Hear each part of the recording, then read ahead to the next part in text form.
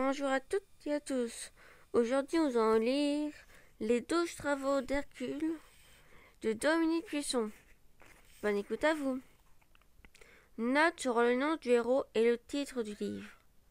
En Occident et en général, dans tous les pays de la langue le français et filles du latin, on connaît le héros dont le lecteur va lire ici les aventures sous le nom d'Hercule, que lui donnaient les Romains. En français de nos jours encore, si quelqu'un a la capacité physique d'accomplir des choses impossibles au commun des mortels, on dit qu'il est doué d'une force herculéenne. C'est la raison pour laquelle on trouve en titre les douze travaux d'Hercule. C'est pourtant un personnage que les Romains ont emprunté, comme tant de choses, aux Grecs qu'il appelait Héraclès. Héraclès. Il n'est d'ailleurs pas impossible que les Grecs eux-mêmes l'aient emprunté aux Phéniciens, sur lequel les dieux Malcarte le ressemblent beaucoup. Mais le plus grand nombre des textes qui nous parlent de lui sont en grec, et c'est la raison pour laquelle, comme tous les autres personnages de ces aventures, le héros portera ici son nom, Héraclès. Prologue. C'était dans l'Antiquité de l'Antiquité, en Grèce, dans le temps où, les dieux qui vivent pour toujours se mêlent encore volontiers aux mortels, et surtout aux mortels, les femmes. Le monde n'était pas encore aussi grand qu'aujourd'hui, et s'il l'était, les hommes ne le savaient pas. Ils parcouraient les lieux qu'ils habitaient, et peu à peu, certains d'entre eux s'aventuraient plus loin. Mais à l'inverse, le monde n'était pas encore aussi petit. On commençait à peine à domestiquer le cheval. On l'attela aussi, aussitôt à, des chars de guerre. Ils ont voyagé à pied si bien qu'en la vitesse où ils le parcouraient, le monde pouvait paraître immense aux humains. Une fois arrivés au bord d'un océan, atlantique ou indien, ils croyaient être au bout de la terre. L'univers leur semblait peuplé de dieux et de monstres au bout, au beau milieu duquel la forme humaine se cherchait. Tâchait de se faire une place, petit à petit, de comprendre un peu, grâce aux histoires que se racontent, tout ce qui existe et tout ce qui arrive, en mettant de l'ordre dans leurs idées. C'est un peu de ce récit-là que, fait de mythologie, les mythes sont comme des paroles qui vibrent en écho et rebondissent, mais nous, ils nous arrivent de si loin dans le passé, et ont tout roulé de bouche en bouche, et de bouche à oreille, et puis de livre en livre d'une région de la Grèce à l'autre, d'un bout à l'autre de la Méditerranée. Et le temps à manger, chemin faisant tant de morceaux d'olive, ou de livres entiers qui ce qui a parvenu nous est parfois un peu confus contradictoire. Bien sûr, on ne sait plus qui fut le premier ou la première à le dire, ni même s'il y a un auteur. On les reçoit par chant entier ou par bribes, mais bien malin qui saurait d'où ils viennent, après tant de réseaux, tant d'avatars, bien malin qui saurait quelle est la voix qui parle dans les mythes.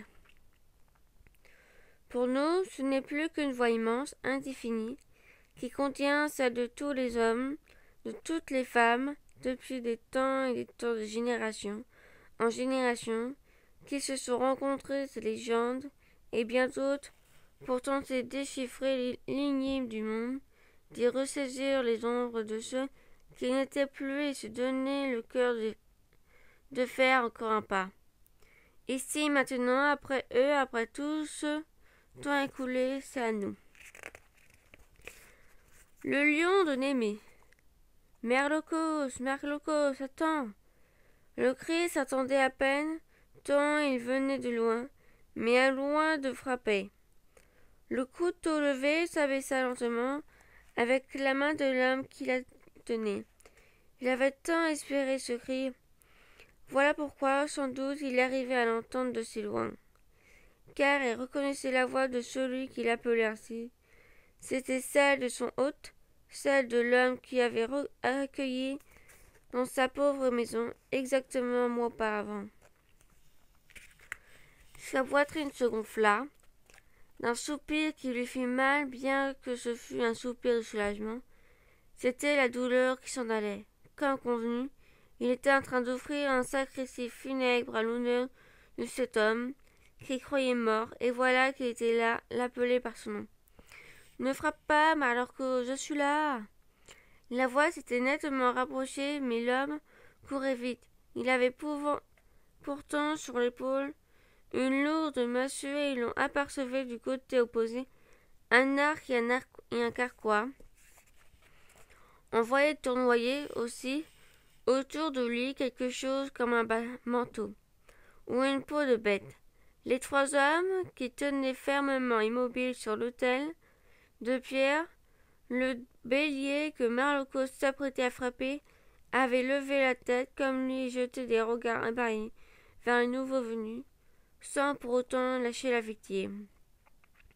Arrête, Marlocos, il serait sacrilège et de mauvais augure d'offrir un sacrifice funèbre en l'honneur d'un vivant.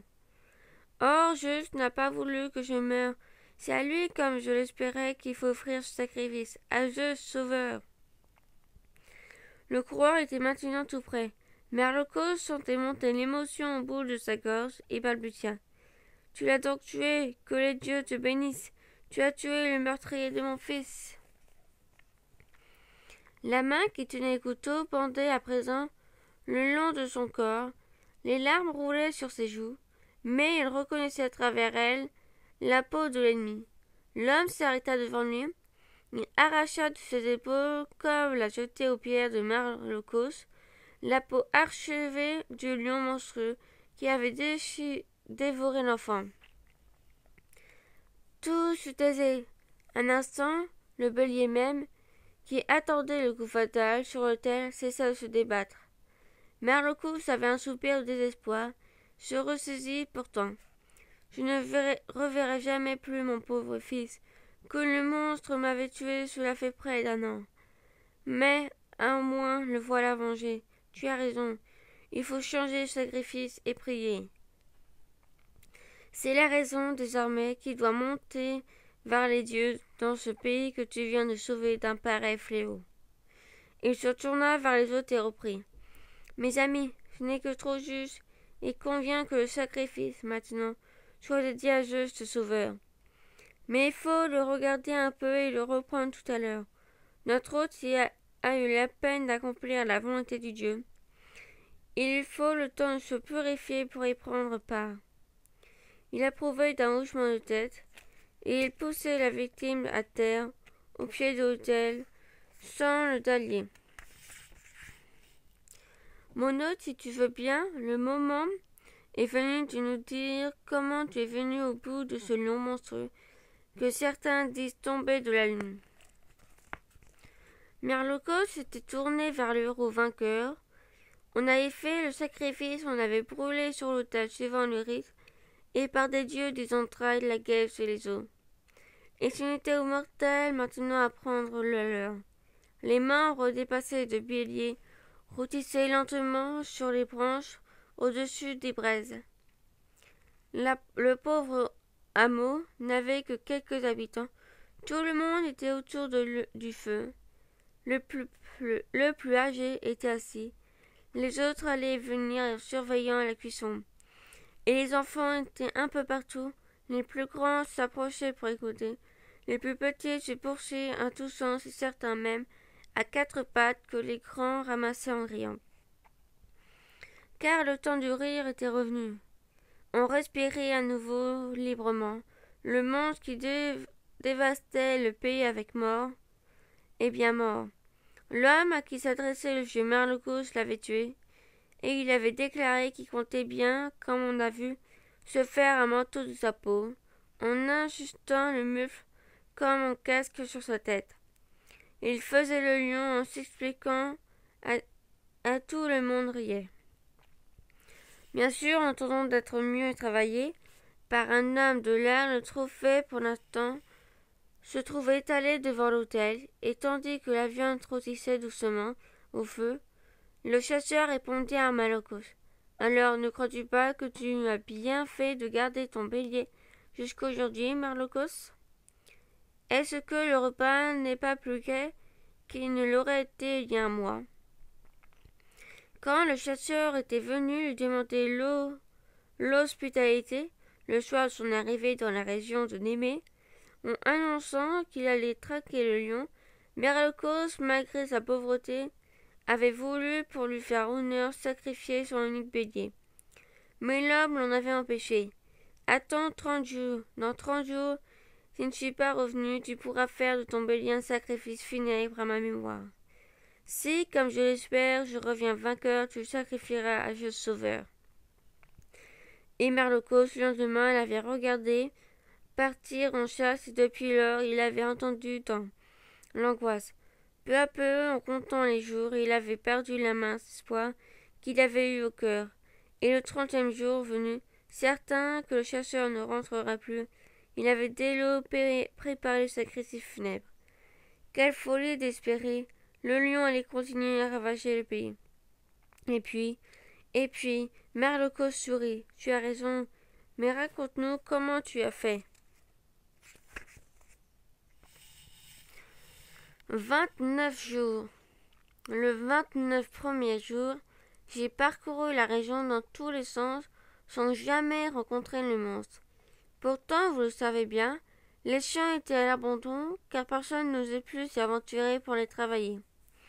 Les seuls humains que je rencontrais se terrassaient chez eux, eh bien ils ne sortaient que pour accomplir eux aussi des rites funèbres en l'honneur des gens de leur famille que le lion avait enlevés.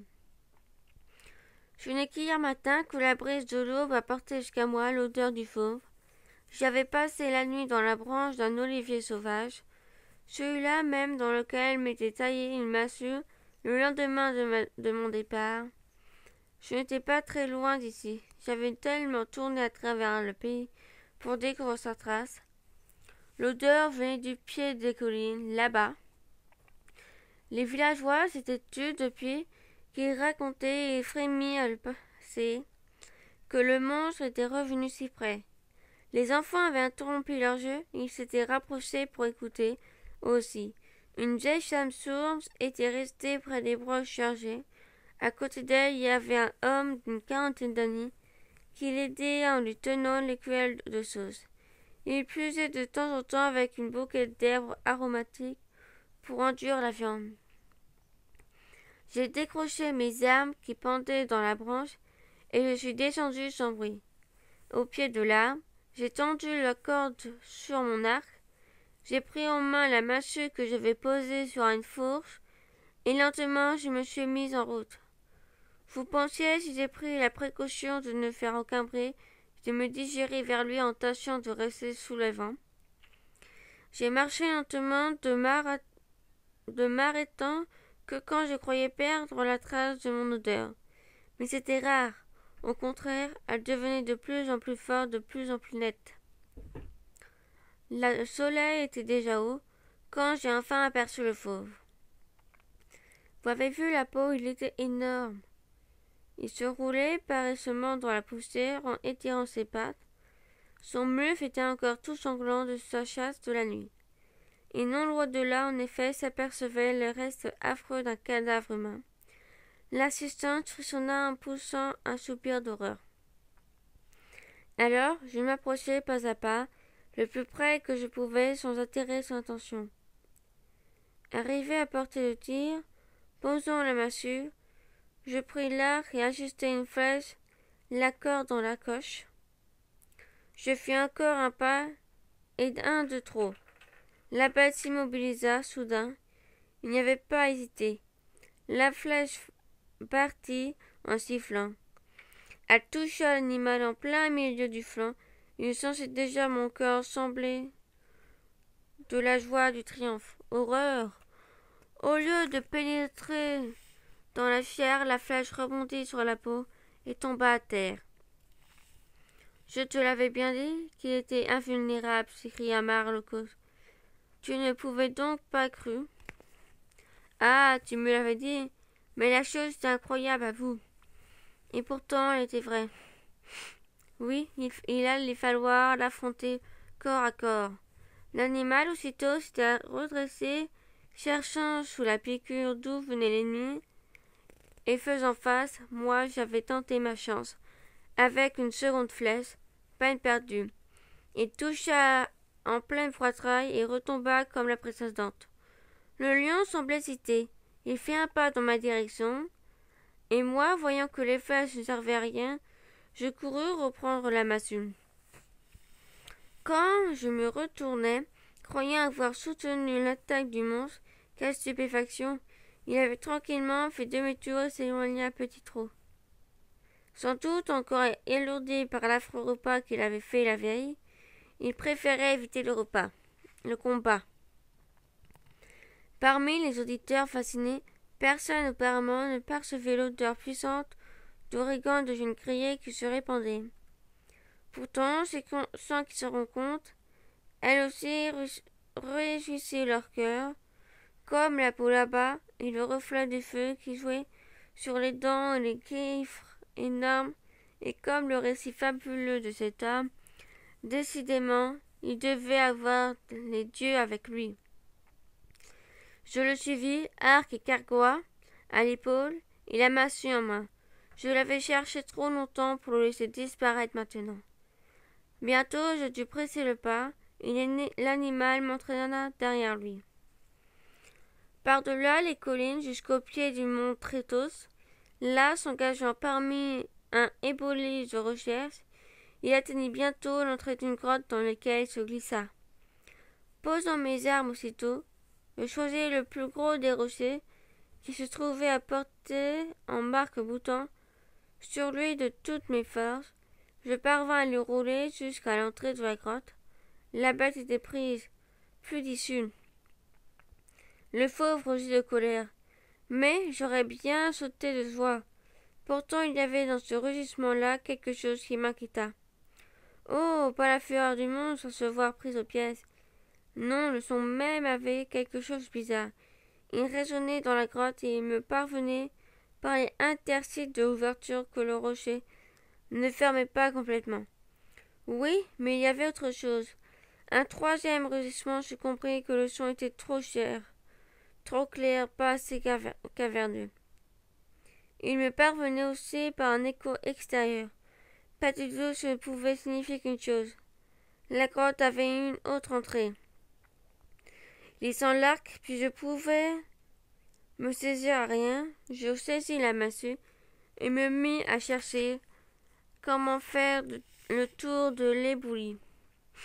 À mesure que j'avançais, les rugissements de mon ennemi résonnaient avec plus de force, enflés encore par les coups. Des rochers comme quand on me met ses mains en coquille à la bouche. Bientôt j'aperçus la seconde ouverture. Elle était nettement plus large et plus haute que l'autre. Le lion y était arrivé en même temps que moi, et je brandis la massue pour l'empêcher de sortir. Il hésita et recula en rugissant dans la pénombre, où je voyais briller ses yeux comme des braises. Je repris mon souffle. La lutte s'annonçait rude. Pas de solution pour que d'aller chercher l'ennemi dans son repère. J'allais devoir entrer. Dans le public, oh, d'étonnement épouvanté et cette phrase, mes chasseurs reprit. La massue haute s'avançait vers l'entrée de la grotte. À l'instant même où je la franchissais, le fauve avait un rugissement épouvantable, bondit à ma rencontre tout en gueule et dents et griffes mais juste avant qu'il m'atteigne, je sautai de côté en lui abattant la massue de toutes mes forces et somnai du crâne.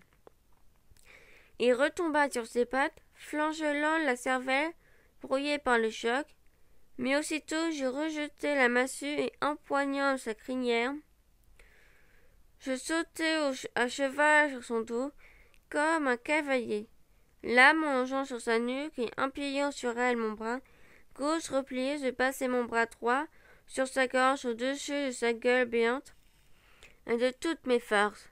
J'appuyai du bras gauche et tirai le bras droit. Le monstre, en se dressant, essayant de me faire lâcher prise, mais j'avais été vive comme l'éclair et me prit aussi était bonne. Je serai, serai tant que je pus, jusqu'à ce qu'au fin les eaux craquent. Un bruit comme celui d'un âme qui s'abat me prouva que j'avais réussi à lui briser la chine, et je sentis le corps se relâcher sous mes étreintes morts. Les auditeurs qui avaient vu le monstre en restaient bouche les yeux exorbités. Le chasseur se redressa en promenant ses yeux un grand regard d'orgueil, puis il tourna la tête vers le feu. Mais, dis donc, il faudrait regarder un peu où on est cette viande. Vers le feu. Mais dis donc, il faudrait regarder un peu où on est cette viande. Au nom de la déesse Héra. Un soupir parcourut l'assemblée, tout le monde se mit à parler en même temps. Et l'on s'empressa d'aller prendre des nouvelles du michoui. Cuit à point, tout à chouette, succulent, et les plus gras morceaux étaient attribués au héros vainqueur du lion de Némée. Quand il eut chassé la soif et la faim en question, fusa. Qu'est-ce que tu vas faire de la peau du lion? Mais tu as bien vu, il va s'en faire un manteau avec le mufle en guise de casque. Ah oui Mais il faut le tanner. Très juste. Elle aura besoin d'être travaillée par un homme de métier. Mais je n'ai fait que la gratter avec des pierres pour la nettoyer. Et je me suis tenu bien de la peine. Le monstre était invulnérable, aucune arme ne pouvait le blesser. Aucune lame ne pouvait l'entamer. Il fallait pourtant bien dépêcher l'animal puisque je dois montrer la peau à mon maître, le roi Eurythès. Il se fit un silence. Quoi? Un pareil homme avait un maître? Il avait dû entendre de travers. C'est Marcos qui reprit la parole. Mon hôte, Calmo échappé de l'enclos de tes dents. Nous autres, nous avons des maîtres, un seigneur, comme toi n'en as pas. Surtout un homme de ta force, de ton courage. Et d'ailleurs, visiblement, les, dieux te favorisent. Le soupir qui sortit de la poitrine du tueur de était presque un sanglot, et Marlocos reprit sur un ton moins vif. Donc, Seigneur Car moi je ne peux pas faire autrement que te donner ce titre. Les autres l'approuveraient en hochant la tête. Quand tu me fais l'honneur il y a un mois de venir dans ma maison, je n'ai pas demandé ton je n'ai pas la coutume, et surtout la seule chose qui comptait alors, c'était l'espoir qui renaissait grâce à toi. Maintenant, je, maintenant, ne veux-tu pas nous dire le nom de notre Seigneur? Nous sommes prêts à l'honorer comme celui d'un Dieu. Je m'appelle, l'étranger hésita un instant. Je m'appelle Héraclès. Il se fit un murmure improbateur. On lui était reconnaissant d'avoir dévoilé son nom, et dans un pays consacré à déesse ce nom-là ne pouvait que plaire. Gloire à Héra. C'est un beau nom, dit quelqu'un. Non, glorieuse, glorieux par la faveur d'Héra, rectifia sourire amer tentait le visage du héros. La faveur d'Héra Ah oui. N'allez pas croire ça. La déesse me hait. C'est elle qui m'a donné un maître. Et ce lion monstrueux, comme tu l'as dit, Marlocos, il paraît qu'il était à l'origine sur la lune, où les êtres, c'est bien connu, sont beaucoup plus grands dans ce monde-ci. Mais c'est Diacera qui a fait venir un terrible frisson à l'astre de la nuit pour provoquer la chute de Lion sur la terre, justement dans ce pays de Némée, enfin qu'il soit pour moi un terrible épreuve. Non, je veux, je vous le répète, elle me hait. L'homme qui était resté près du feu a aidé la vieille pendant tout le récit s'était peu à peu rapproché. Sait-on jamais qui les dieux aiment, Weiss demanda-t-il. Ainsi tu t'appelles Héraclès maintenant. Héraclès se tourna vers lui. Qui es-tu, toi, pour poser cette question-là? Connaîtres-tu mon autre nom? Sais-tu donc qui je suis? N'es-tu pas celui qu'on appelle Thébès? Akès Fit d'Amphitryon, le petit-fils d'Achios, le fort? L'arrière-petit-fils du héros percé? Oui. D'où me connais-tu? Où est-ce que tu étais bien? Je ne t'ai jamais vu. Quand je suis parti de Thèbes, tu étais encore un enfant et tu m'as oublié. Je viens d'y repenser. Il y a peu, juste après ton départ, j'ai entendu raconter une chose qui m'ont fait frémir. Le visage d'Héraclès se rompit Il baissa la tête et garda le silence. Marlocos intervint. Phineas, c'est une joie pour nous d'avoir deux hôtes en même temps. Tu sais tout le respect que nous avons pour les Hadès, et combien nous te sommes reconnaissants pour tes que, qui nous ont rendu courage ces jours-ci. Mais on dirait que tes paroles ont contraire ce que, celui que tu aimes et qu'était-ce. Il n'est pas bon qu'un hôte en blesse un autre. La chose est embarrassante pour tout le monde.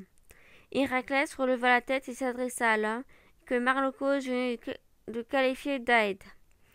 Ainsi, tu es Flamios, le meilleur élève en ce que l'on disait de mon maître Lignos, celui qui est parti interpréter ses chiens à travers le monde. Ne fais pas de reproches, Marlocos.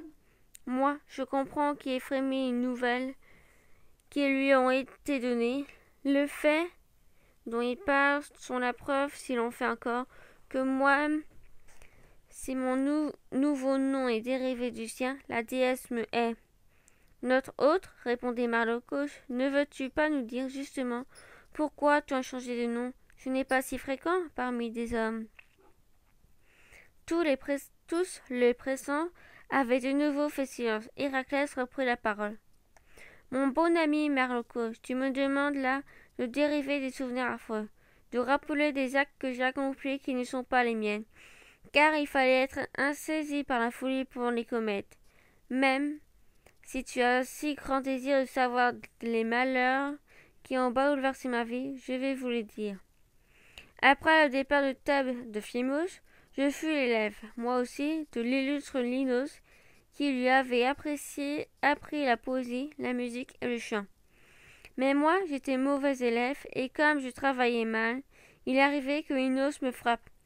Un jour, ce fut mon premier cri, ça ne devait pas être la dernière. À l'instant il me frappa, la colère me prit et je lui donnai un rispos, un tel coup sur la tête, avec, avec ma cigare, qu'il en tomba raide mort.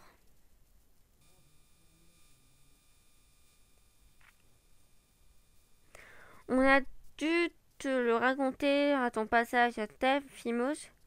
Tu pouvais bien frémir, on ne t'a pas menti. Je fus pas condamné, j'étais encore presque enfant. Les noces avaient frappé le premier, et puis la colère n'était pas une courte folie. Mon père, voyant que, par ma faute et par mon caractère, je pouvais être dangereux pour les autres, m'envoya vivre à la campagne, parmi les troupeaux et c'est là que j'ai appris à pratiquer tout l'exercice du corps et à manier les armes. En quelques années, je devins, comme vous me voyez, grand et fort plus que n'importe quel mortel. Or, un jour, en rentrant de la chasse, je trouvai sur ma route les envoyés d'Erginos, le roi de Mayenne, qui se rendait à Thèbes. Les Minos sont un peuple voisin, et Thèbes, en ce temps-là, devait leur payer tous les ans une tribu de cent vaches. J'en avais honte pour ma ville, et quand je les rencontrai, le sang bouillonna dans mes veines. Je m'emparai d'eux et leur coupai le nez, les oreilles et les mains. Je les leur attachai autour du cou, en leur disant que ce serait le seul tribu qui rapporterait à leur roi. Bien entendu, ce fut la guerre. Je pris la tête de l'armée thébaine, et grâce à l'aide d'Athéna, je fus vainqueur de Mayenne, et à qui j'imposais une tribu double à celui que Thèbes payait auparavant. Accueilli en triomphateur par la cité, je fus fêté de tous et le roi Créon, en récompense de mes exploits, m'offrit sa fille aînée en mariage. À mon frère Éphiclès, il donna sa fille cadette, et nous naquit des enfants, et je vécus ainsi comme un prince vainqueur, au bonheur duquel il ne manquait rien auparavant. J'étais compté sous la haine des rats, après trois ans de, ce bonheur-là, elle m'envoya une folie telle qu'il n'y avait pas de pire pour les hommes. Dans un accès furieux, j'arrachai un bras de mon épouse, mère Caras, leur mère. Les trois enfants qu'elle m'avait donnés, je les jetai au feu. J'en fis autant avec deux des enfants de mon frère Iphiclès, mais après ces horreurs, je n'étais pas avec la folie. Levant mon arme contre mon propre père, j'essuyai de la tuer. C'est Athéna qui vint au secours de fou furieux que j'étais. On m'a raconté qu'elle me lança une pierre dans la poitrine. En la recevant, je tombai aussitôt endormi. La voix du héros sanglanta. L'auditoire, cette fois, était muet d'horreur. Après un long silence qui ne fut rompu par personne, Héraclès reprit. C'en était fini de la bonne vie que je menais à Thèbes. Après de pareils crimes, folie ou pas, je me condamnais moi-même à exil, laissant à Thèbes Macara avec qui je ne pouvais plus vivre après. Après lui avoir tué ses enfants, je me rendis à Thèbes pour demander au dieu Apollon ce que je devais faire et où je devais m'installer. La prêtresse qui rend les oracles de Dieu, la futie, commença par changer mon nom, car jusqu'alors je m'avais appelé Hécatès, d'après le nom de mon grand-père, puis elle me dicta ma conduite. Ton destin est de te soumettre à la volonté des rats, et c'est pourquoi tu t'appelleras Héraclès, car tu tireras ta gloire d'elle et tu travailleras la sienne. Tu iras t'établir à Tyrinthe, en Argolite, et tu te mettras pour douze ans au service du roi du pays, ton cousin Euryssie. Là, tu accompliras tous les travaux que tu commanderas au nom de la déesse. Quand tu les auras accomplis, tu deviendras immortel et tu seras reçu dans l'Olympe parmi les dieux. Voilà comment je suis venu chez vous tuer le lion de Némée.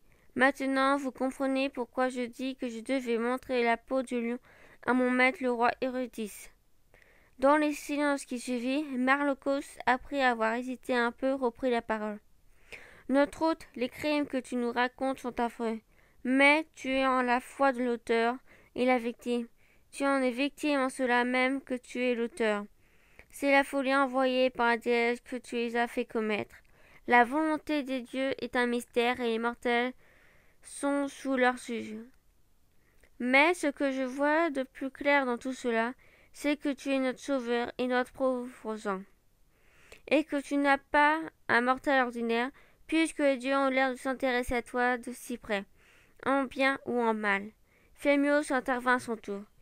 Qui peut être certain de comprendre ce que font les dieux, ce qui est pour les biens et ce qui est pour le mal?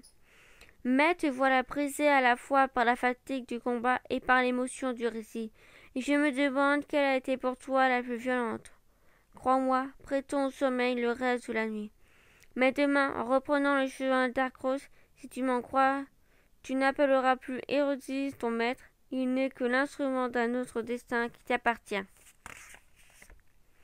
Les origines. L'aurore aux doigts de rose avait à peine effacé au ciel l'étoile du matin que tous les habitants du hameau étaient de nouveau rassemblés pour dire adieu à Héraclès. Ils le disaient, leur reconnaissance leur couvrait de bénédictions. Soudain, au milieu de ce concert, Héraclès sentit qu'une main tirait sur la peau du lion qui avait jeté sur ses épaules. Mais, pour la peau, tu ne nous as pas dit comment tu, as, tu avais fait. Oh, c'est bien simple.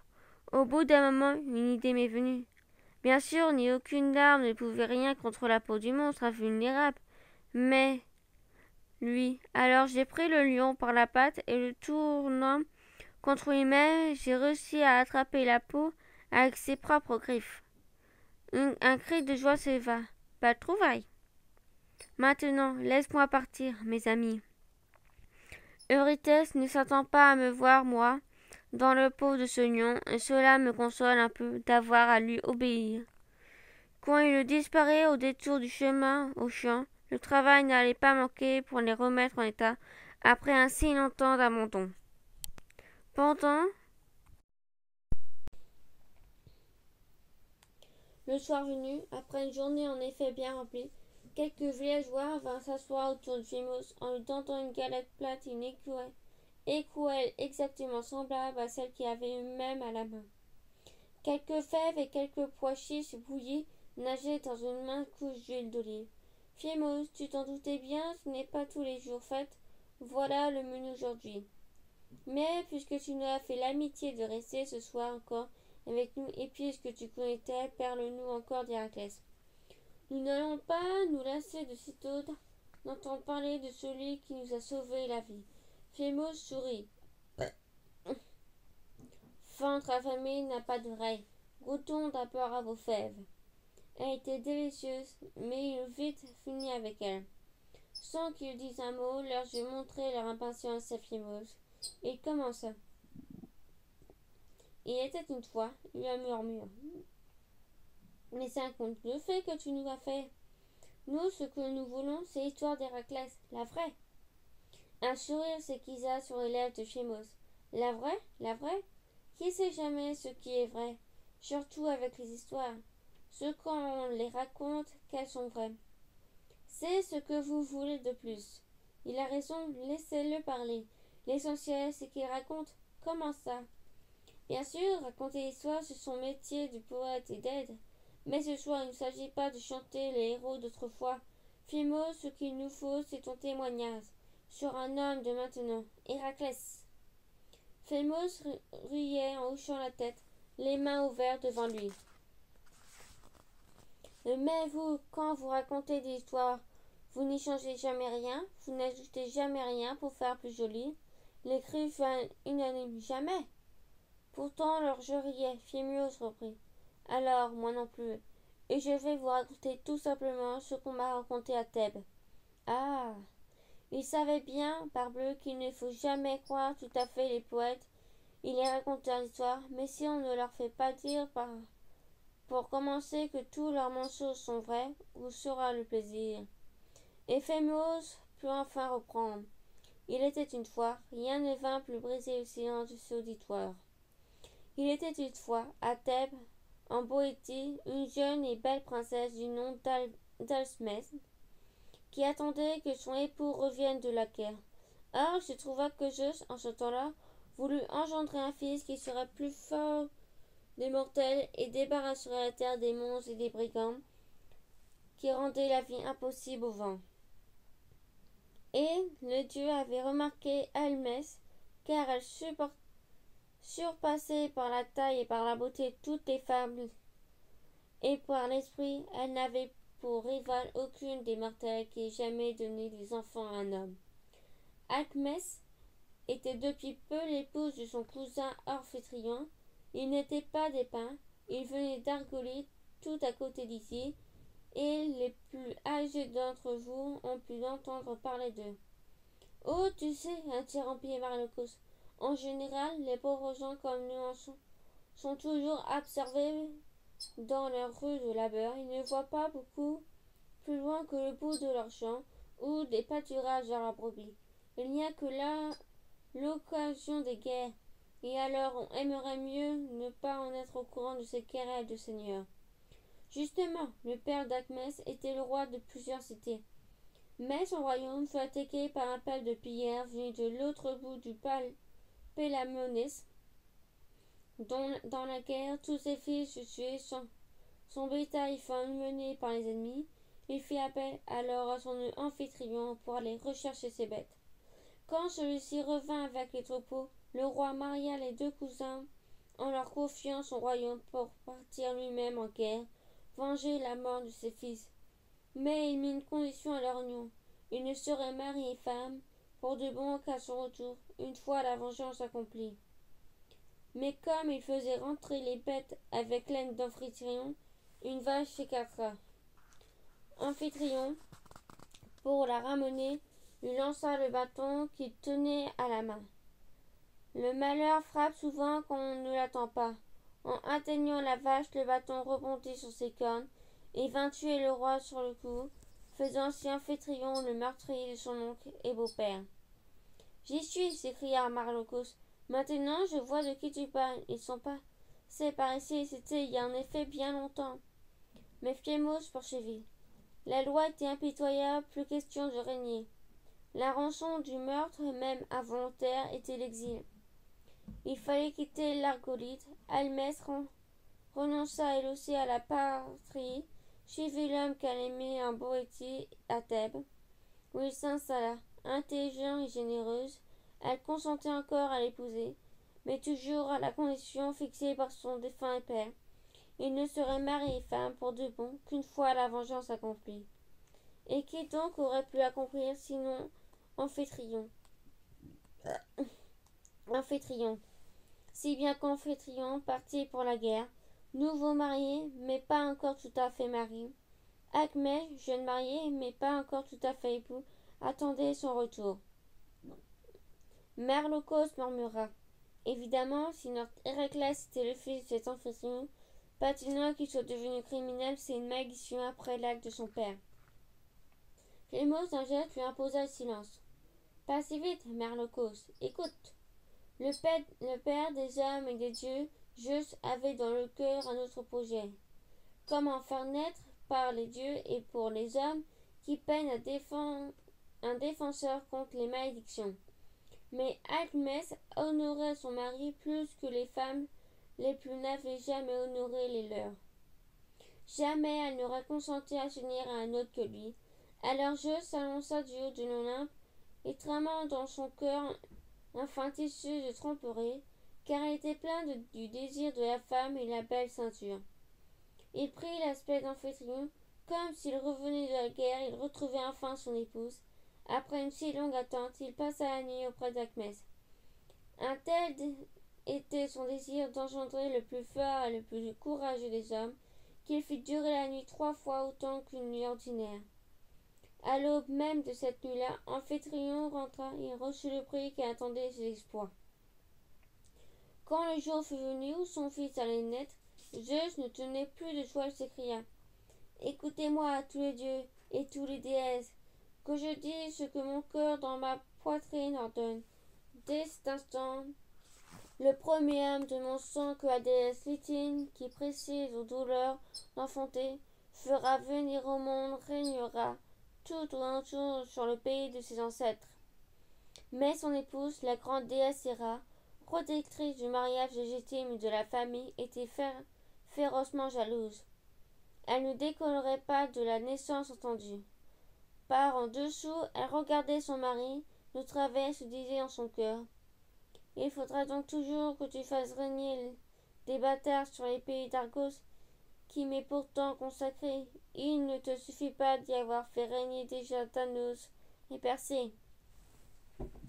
Et méditant du fait tomber son époux dans les pièges de l'aberration, elle lui dit Tu auras parlé pour rien, et tu n'iras pas au bout de ta parole. Ou bien, un nom, Dieu de l'Olympe, jure-moi tout de suite un inviolable serment que le premier enfant qui naîtra aujourd'hui, même en tombant entre les pieds d'une femme, régnera bel et bien sur le pays de ses ancêtres.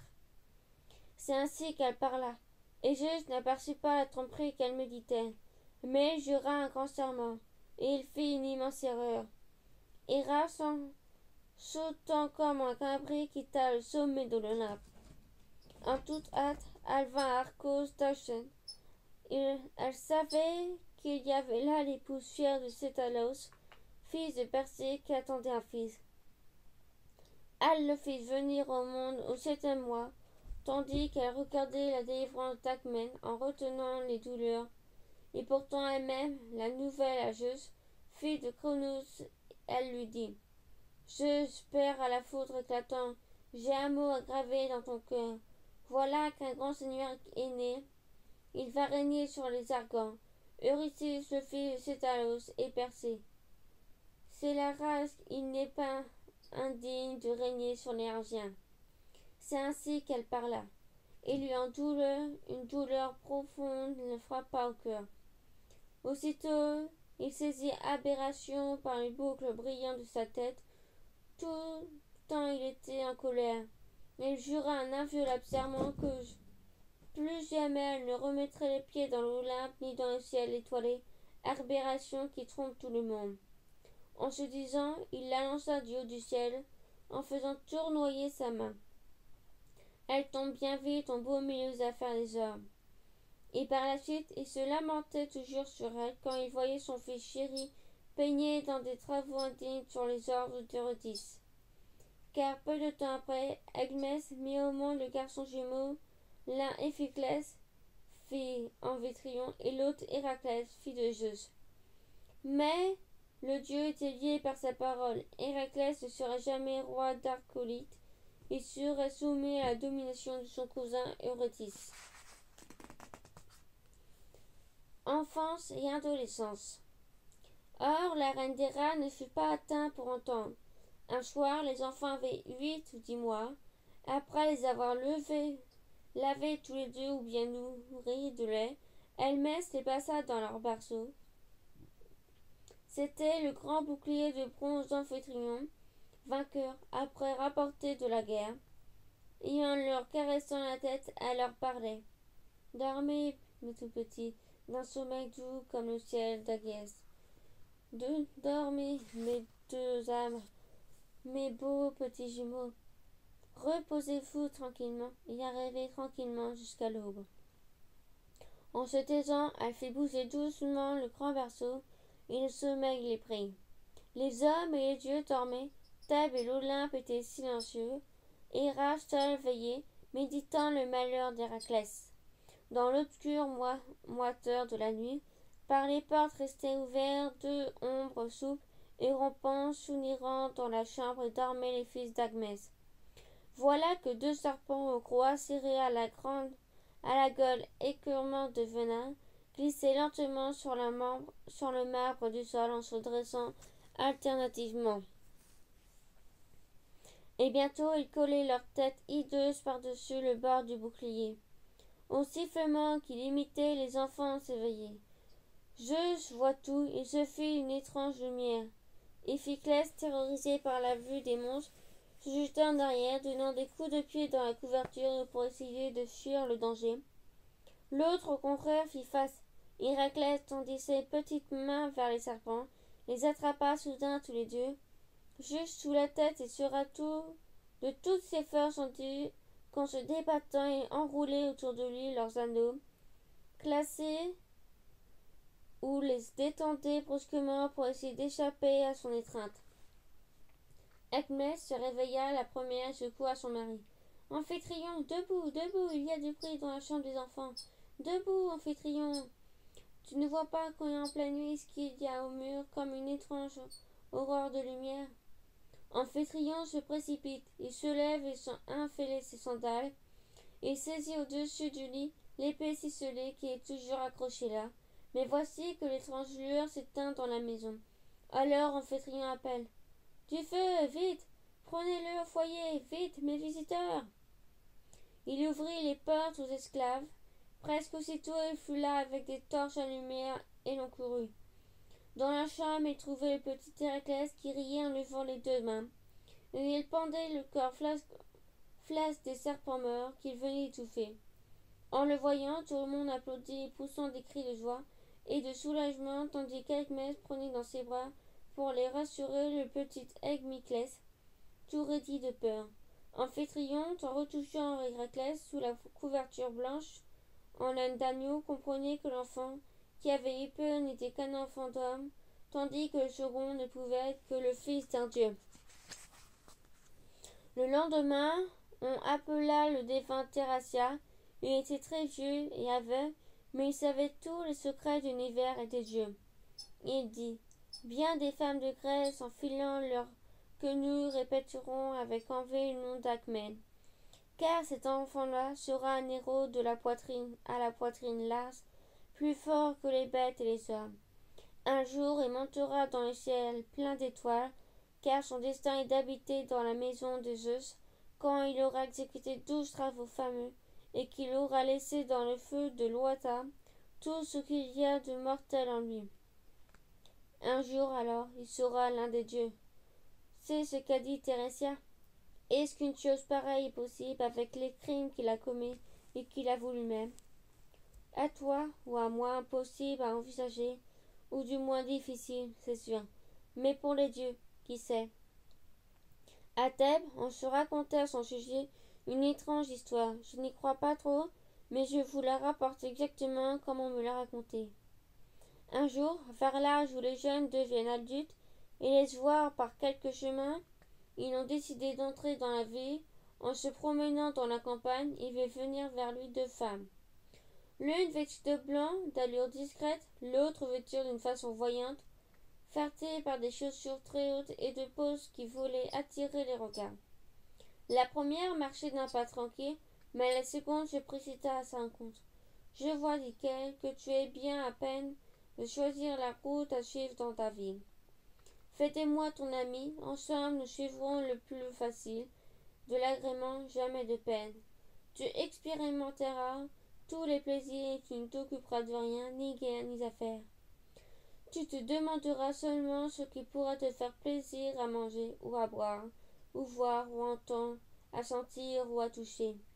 Comment dormir le plus confortablement possible et de quelle manière avoir tout ça sans peine. Pas question de travailler, tu profiteras du travail des autres.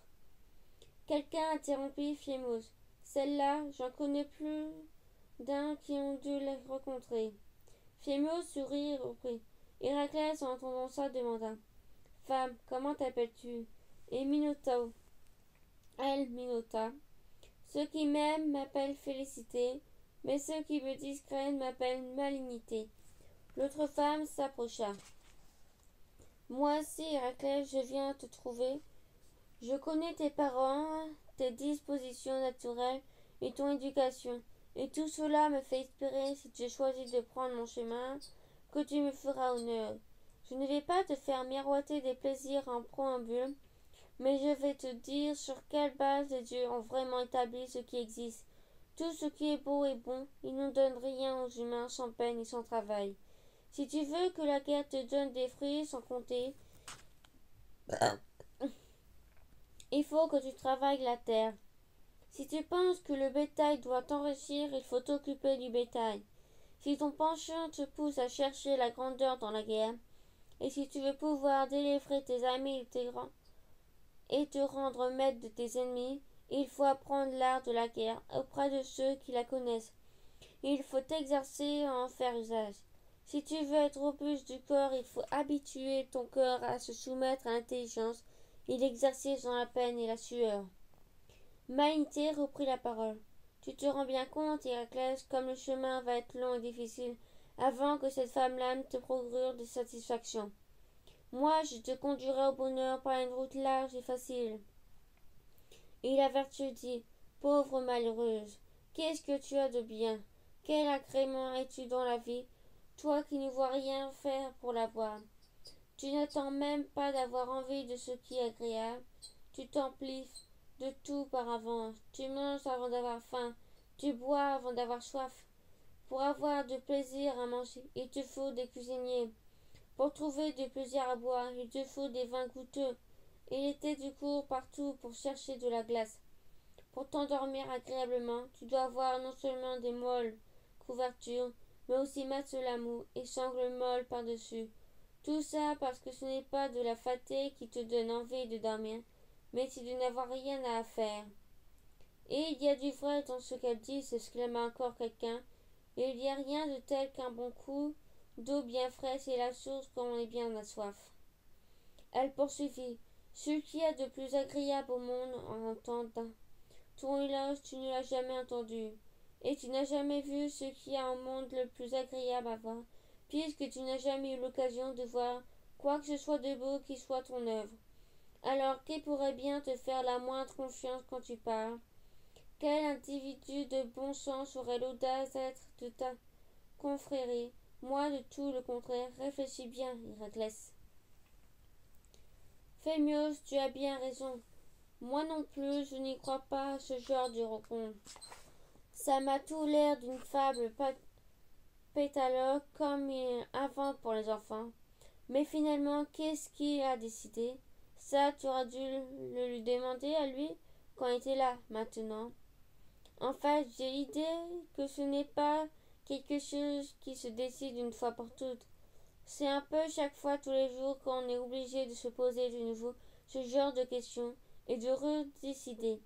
Oui, bon, avec tout ça, il serait temps d'aller se coucher. La journée était dure, nous autres, non seulement, on n'est pas fatigués de rien faire, mais demain, et de tous les autres jours. Excusez-nous, Flimous. J'espère que tu, que tu ne m'en veux pas. Comment pourrais-je t'en vouloir? C'est la sagesse qui parle par ta bouche, Marlocos.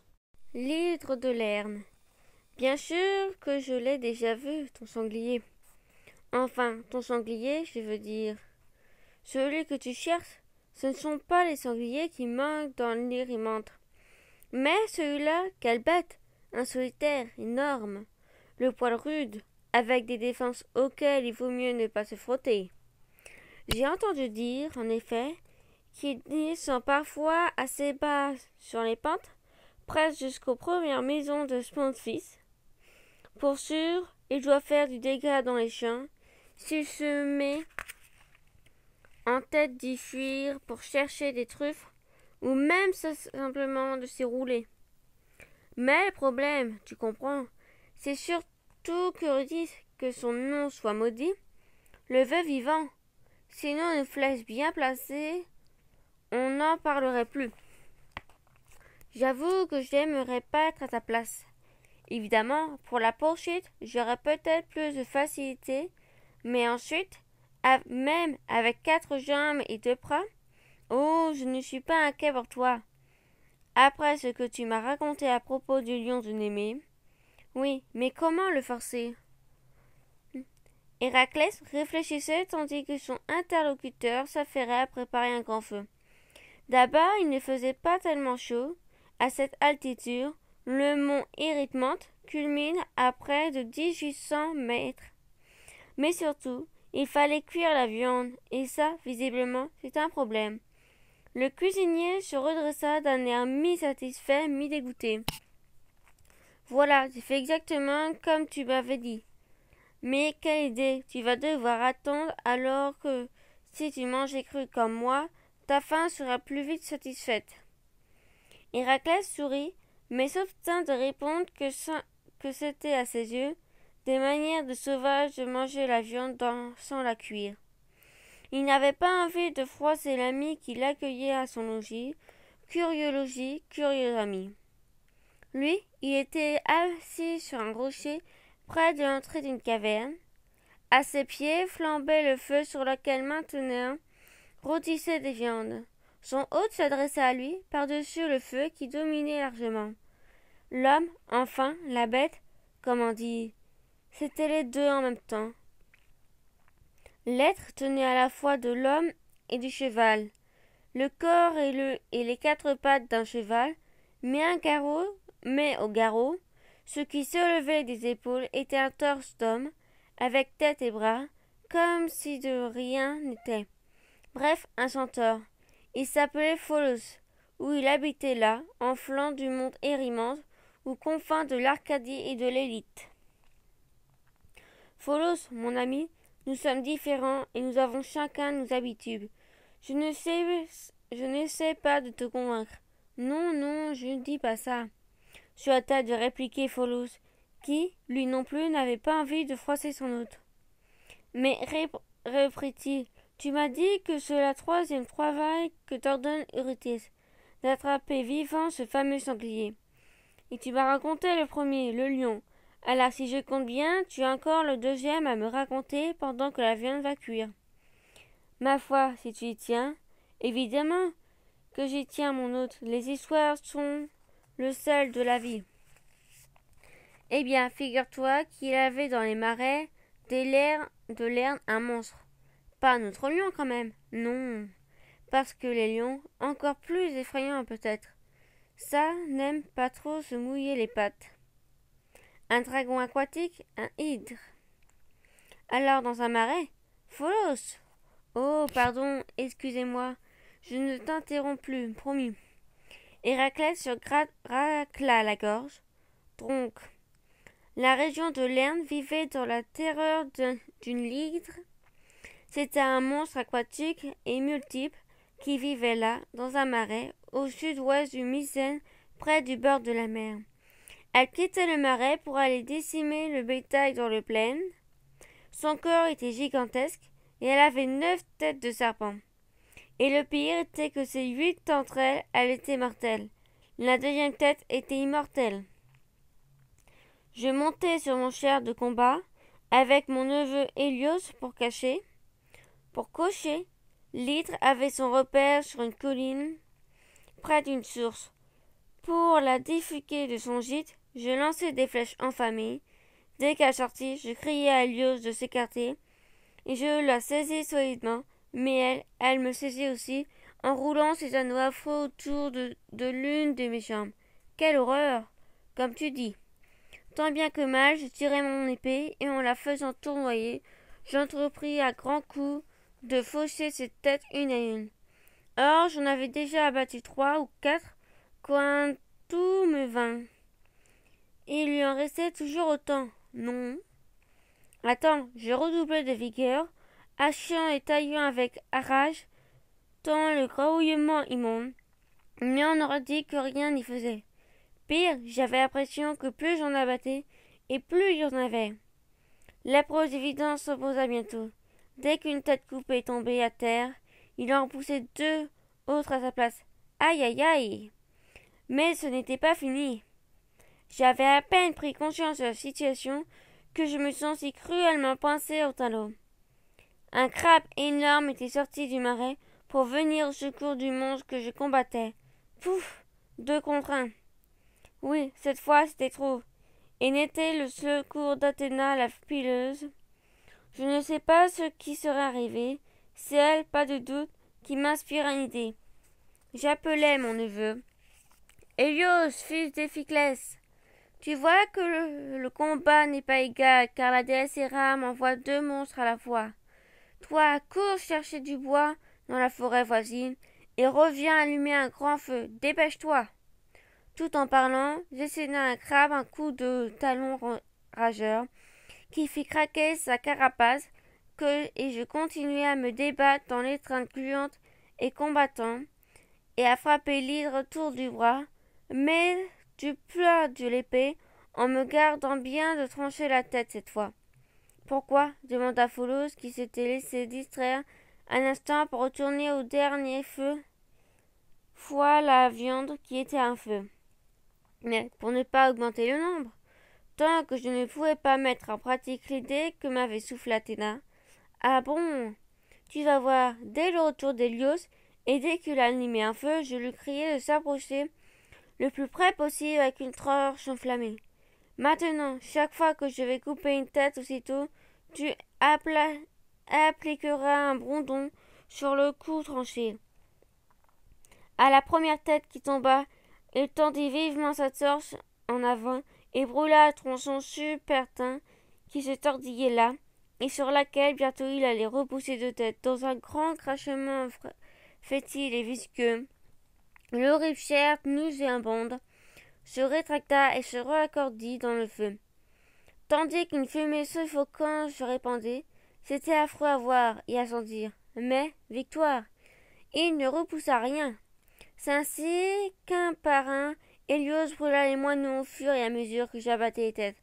C'est alors, Folios était bouche bée, mais la dernière était immortelle. Rappelle-toi, elle, une fois coupée par question de la faire partir en fumée. Alors nous avons fait un trou, nous l'avons jetée dedans, et j'ai roulé un énorme rocher par-dessus, pour qu'elle ne ressorte plus jamais. En fait, ça commence à sentir bon ici. Folio s'ébroula. Mon cher, tu as bien mérité ton gigot. Je crois qu'il est comme tu voulais.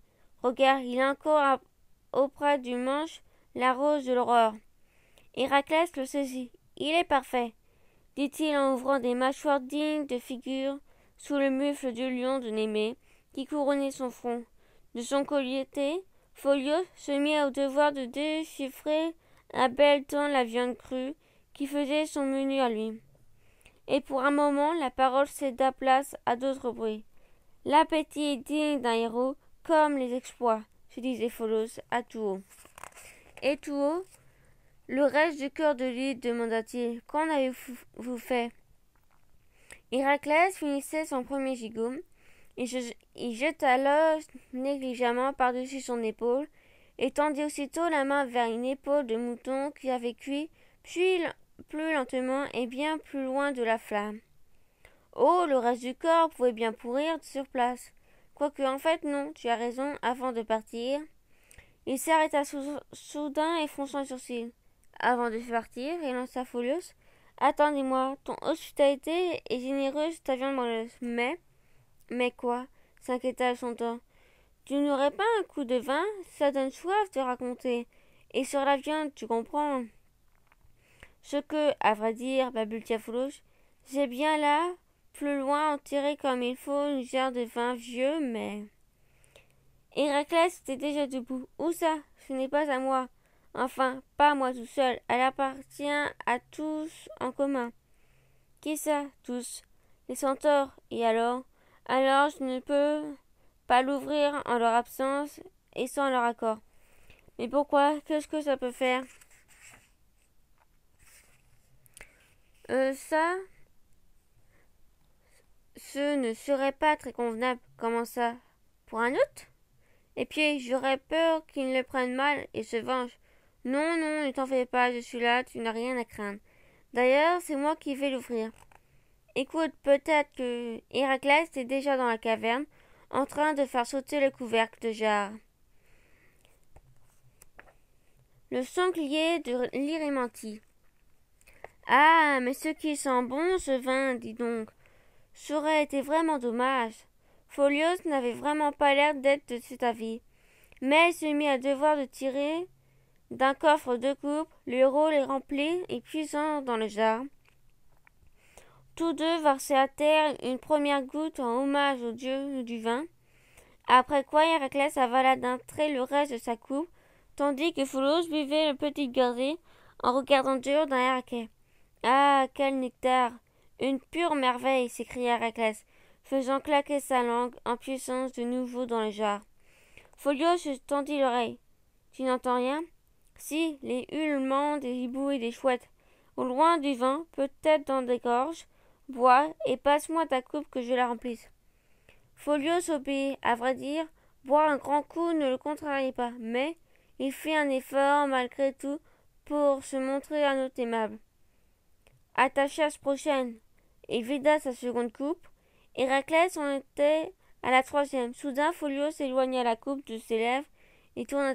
Maintenant, Tu n'entends toujours rien Si, vaguement, on dirait un galop dans le lointain. Ce sont eux, des chasseurs attardés qui rentrent. Tu les connais?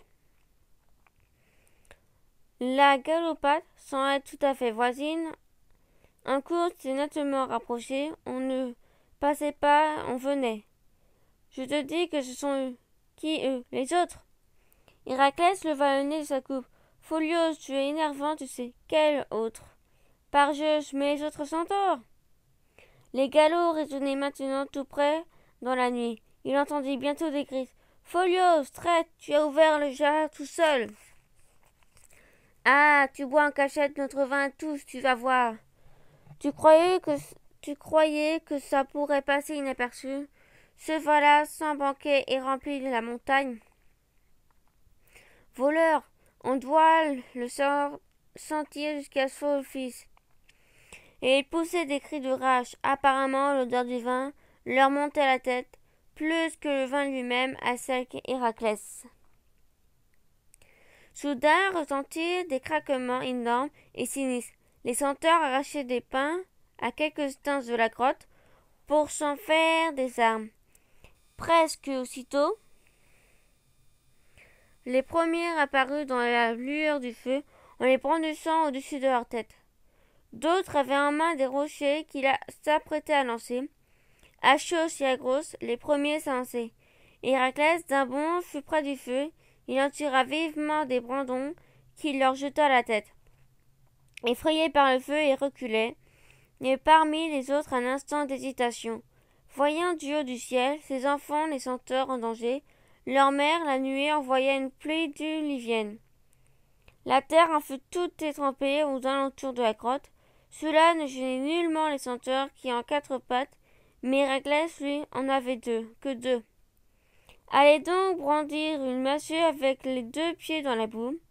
Mais le rose se saisit de son arc et de ses flèches. Bientôt, tandis que Follow s'était réfugié au fond de sa caverne, les centaures, affolés par la pluie de flèches, cette fois, prirent la fuite. Héraclès, échauffé par le vin et l'ardeur du combat, s'élança derrière eux à leur poursuite. Ah, pour une belle cavalcade, ce fut une belle cavalcade. Ils dévalaient la pente du pont, érimant jusqu'au fleuve du même nom. Puis, de leur fuite, ils remontaient la vallée de l'Alphène, franchissant l'extrémité du Tagère, la passe qui sépare l'Arcadie de la Léconie, et s'engouffrent dans la vallée de l'Orotas, galoppant à travers toute la Péloponnèse, et fuyant toujours plus au sud qu'à ce que la terre manque, jusqu'au cap mêlé où la mer à furie dissuade les hommes d'être des marins.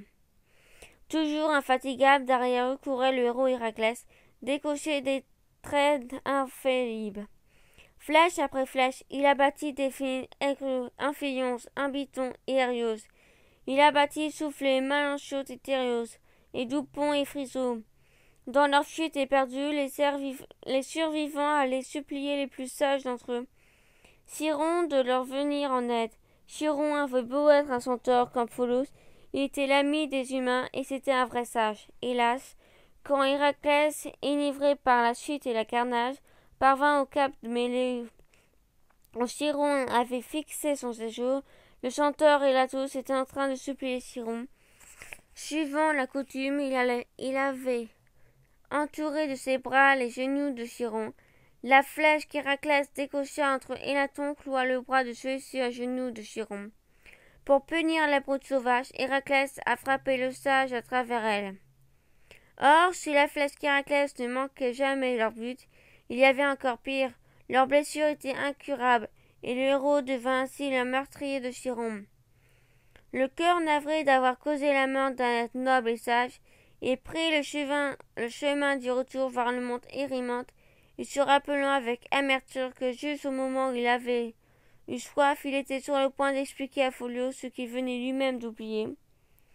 Après avoir tué l'hydre du Lerne, il avait ouvert son corps en deux pour exprimer ses flèches de ses venins et les empoisonner. Depuis lors, elle était sans pardon.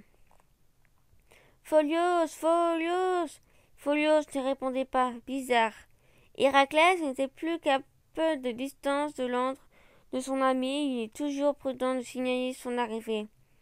De peur d'être pris pour un autre, on ne sait jamais, un rocher ou un arbre, et si vite reçu en plein crâne, si l'habitant des lieux vous prend pour un ennemi. Folio, c'est moi, Héraclès. Rien, aucune réponse. Le héros poursuivait son chemin vers la caverne, en scrutant les alentours. Il apercevait maintenant les cadavres de victimes. Étrange, il leur a juré que devant la caverne il n'y avait tué que deux. Or, il avait l'impression d'en voir trois. Est-ce qu'il y avait mal compté Ma foi, dans le feu d'action, tout le chemin de son retour avait été jalonné par les cadavres de ses ennemis.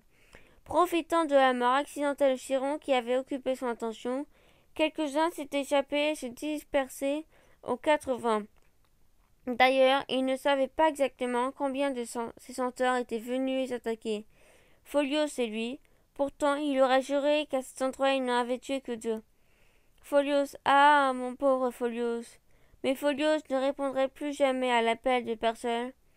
Il était couché, mort, à côté d'Anchios et d'Ancrios, à terre, après, auprès de lui, si c'est la flèche que, visiblement, il avait extrait du flanc d'Anchios. Il avait au pied droit, juste au-dessus du sabot, une de ces plaies où le venin de l'hydre accomplissait son œuvre de mort. Ah, Folios, Folios, qu'est-ce que tu as fait? Je n'étais donc pas assez de Chiron.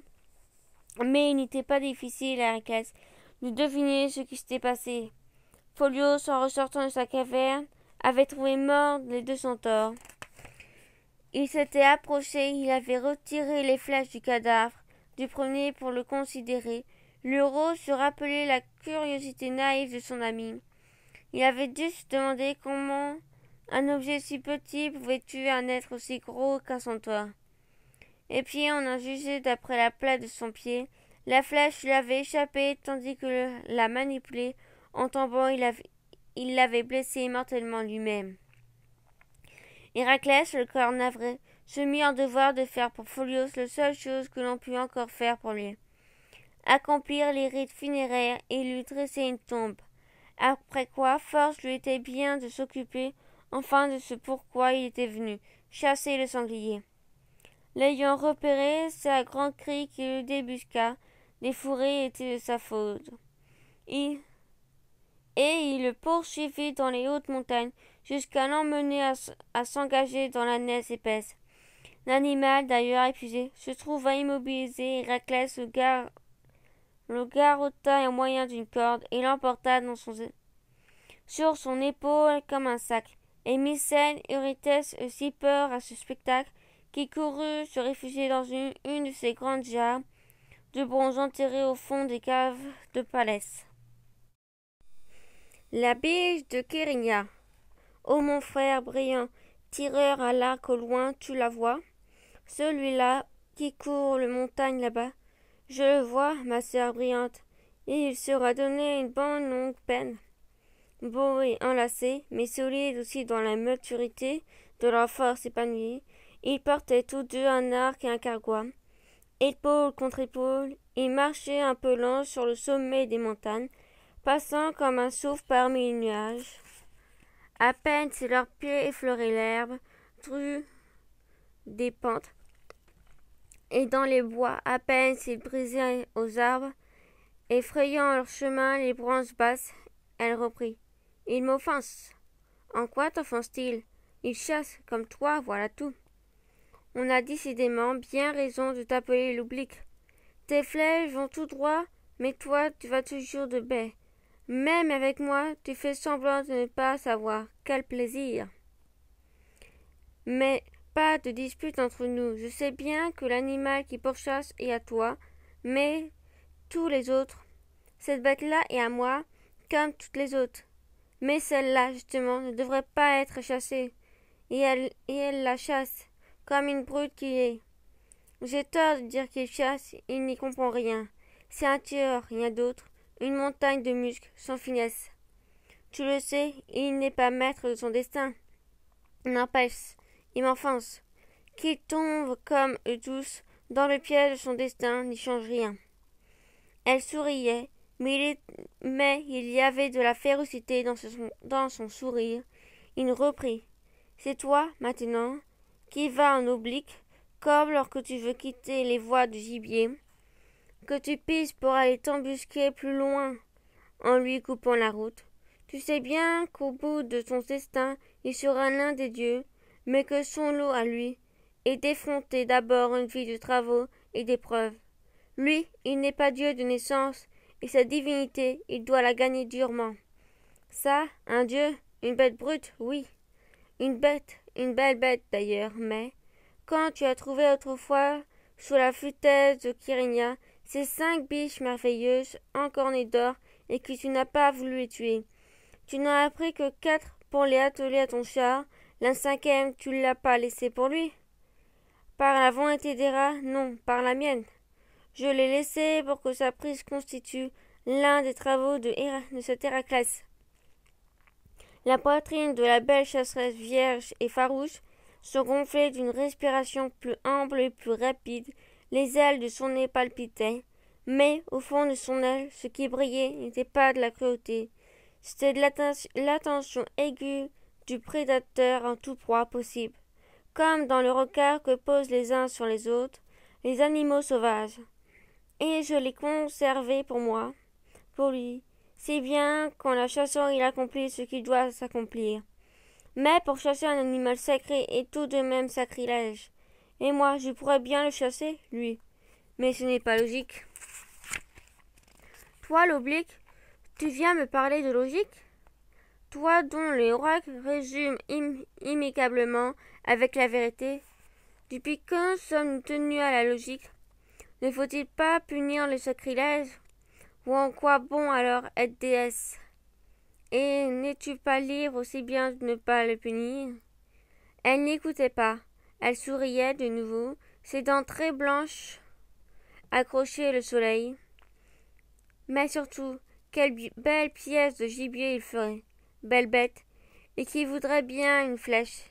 Il rit. Oh, maîtresse des bêtes, lui, c'est un homme. Qu'est-ce que les hommes, sinon des animaux qui se sont mis à parler, à penser? D'ailleurs, le plus souvent, ils le font si mal. Et nous autres, Dieu, que sommes-nous d'autres de ceux qui disent de nous dans leur compte? Il poussa un soupir.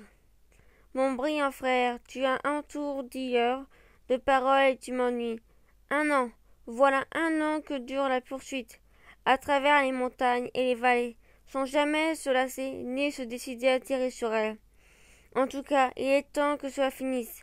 La biche merveilleuse au corps d'or venait s'arrêter, fatiguée par la longue traque au bord d'une rivière. Regarde, il gagne du terrain. Dans le lointain, là-bas, l'animal s'apprêtait à franchir la rivière Lindon. Héraclès s'approchait en tirant dans son arquois une flèche. Le dieu sentait vibrer dans l'épaule et le bras de sa sœur. Contre lui, l'épaule du geste qu'il faisait pour prendre l'arc. Il posa la main sur son bras.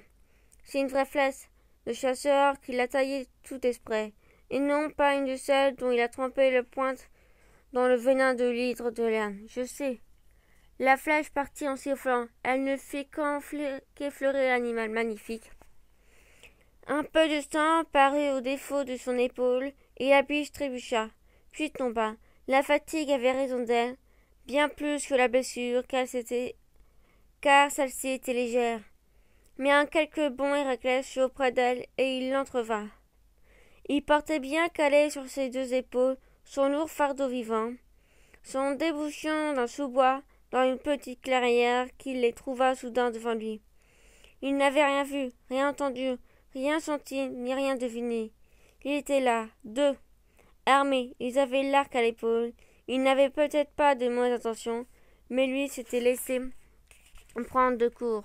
Chargé comme il l'était, impossible de prendre son arc et de se mettre en défense, entre assez vite. Il leur cria de loin. Étrangers, je vous salue. Êtes-vous en voyage ou en chasse? Vous le voyez, moi j'ai fait bonne chasse.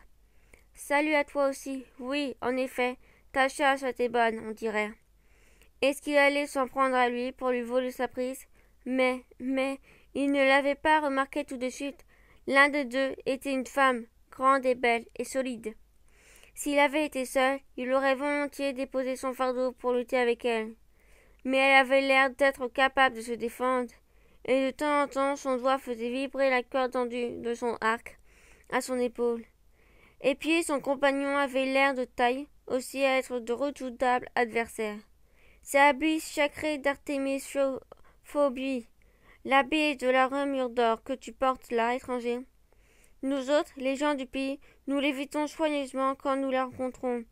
Toi qui es-tu pour t'attaquer à elle S'écriai-je, tu ne crains donc pas les dieux?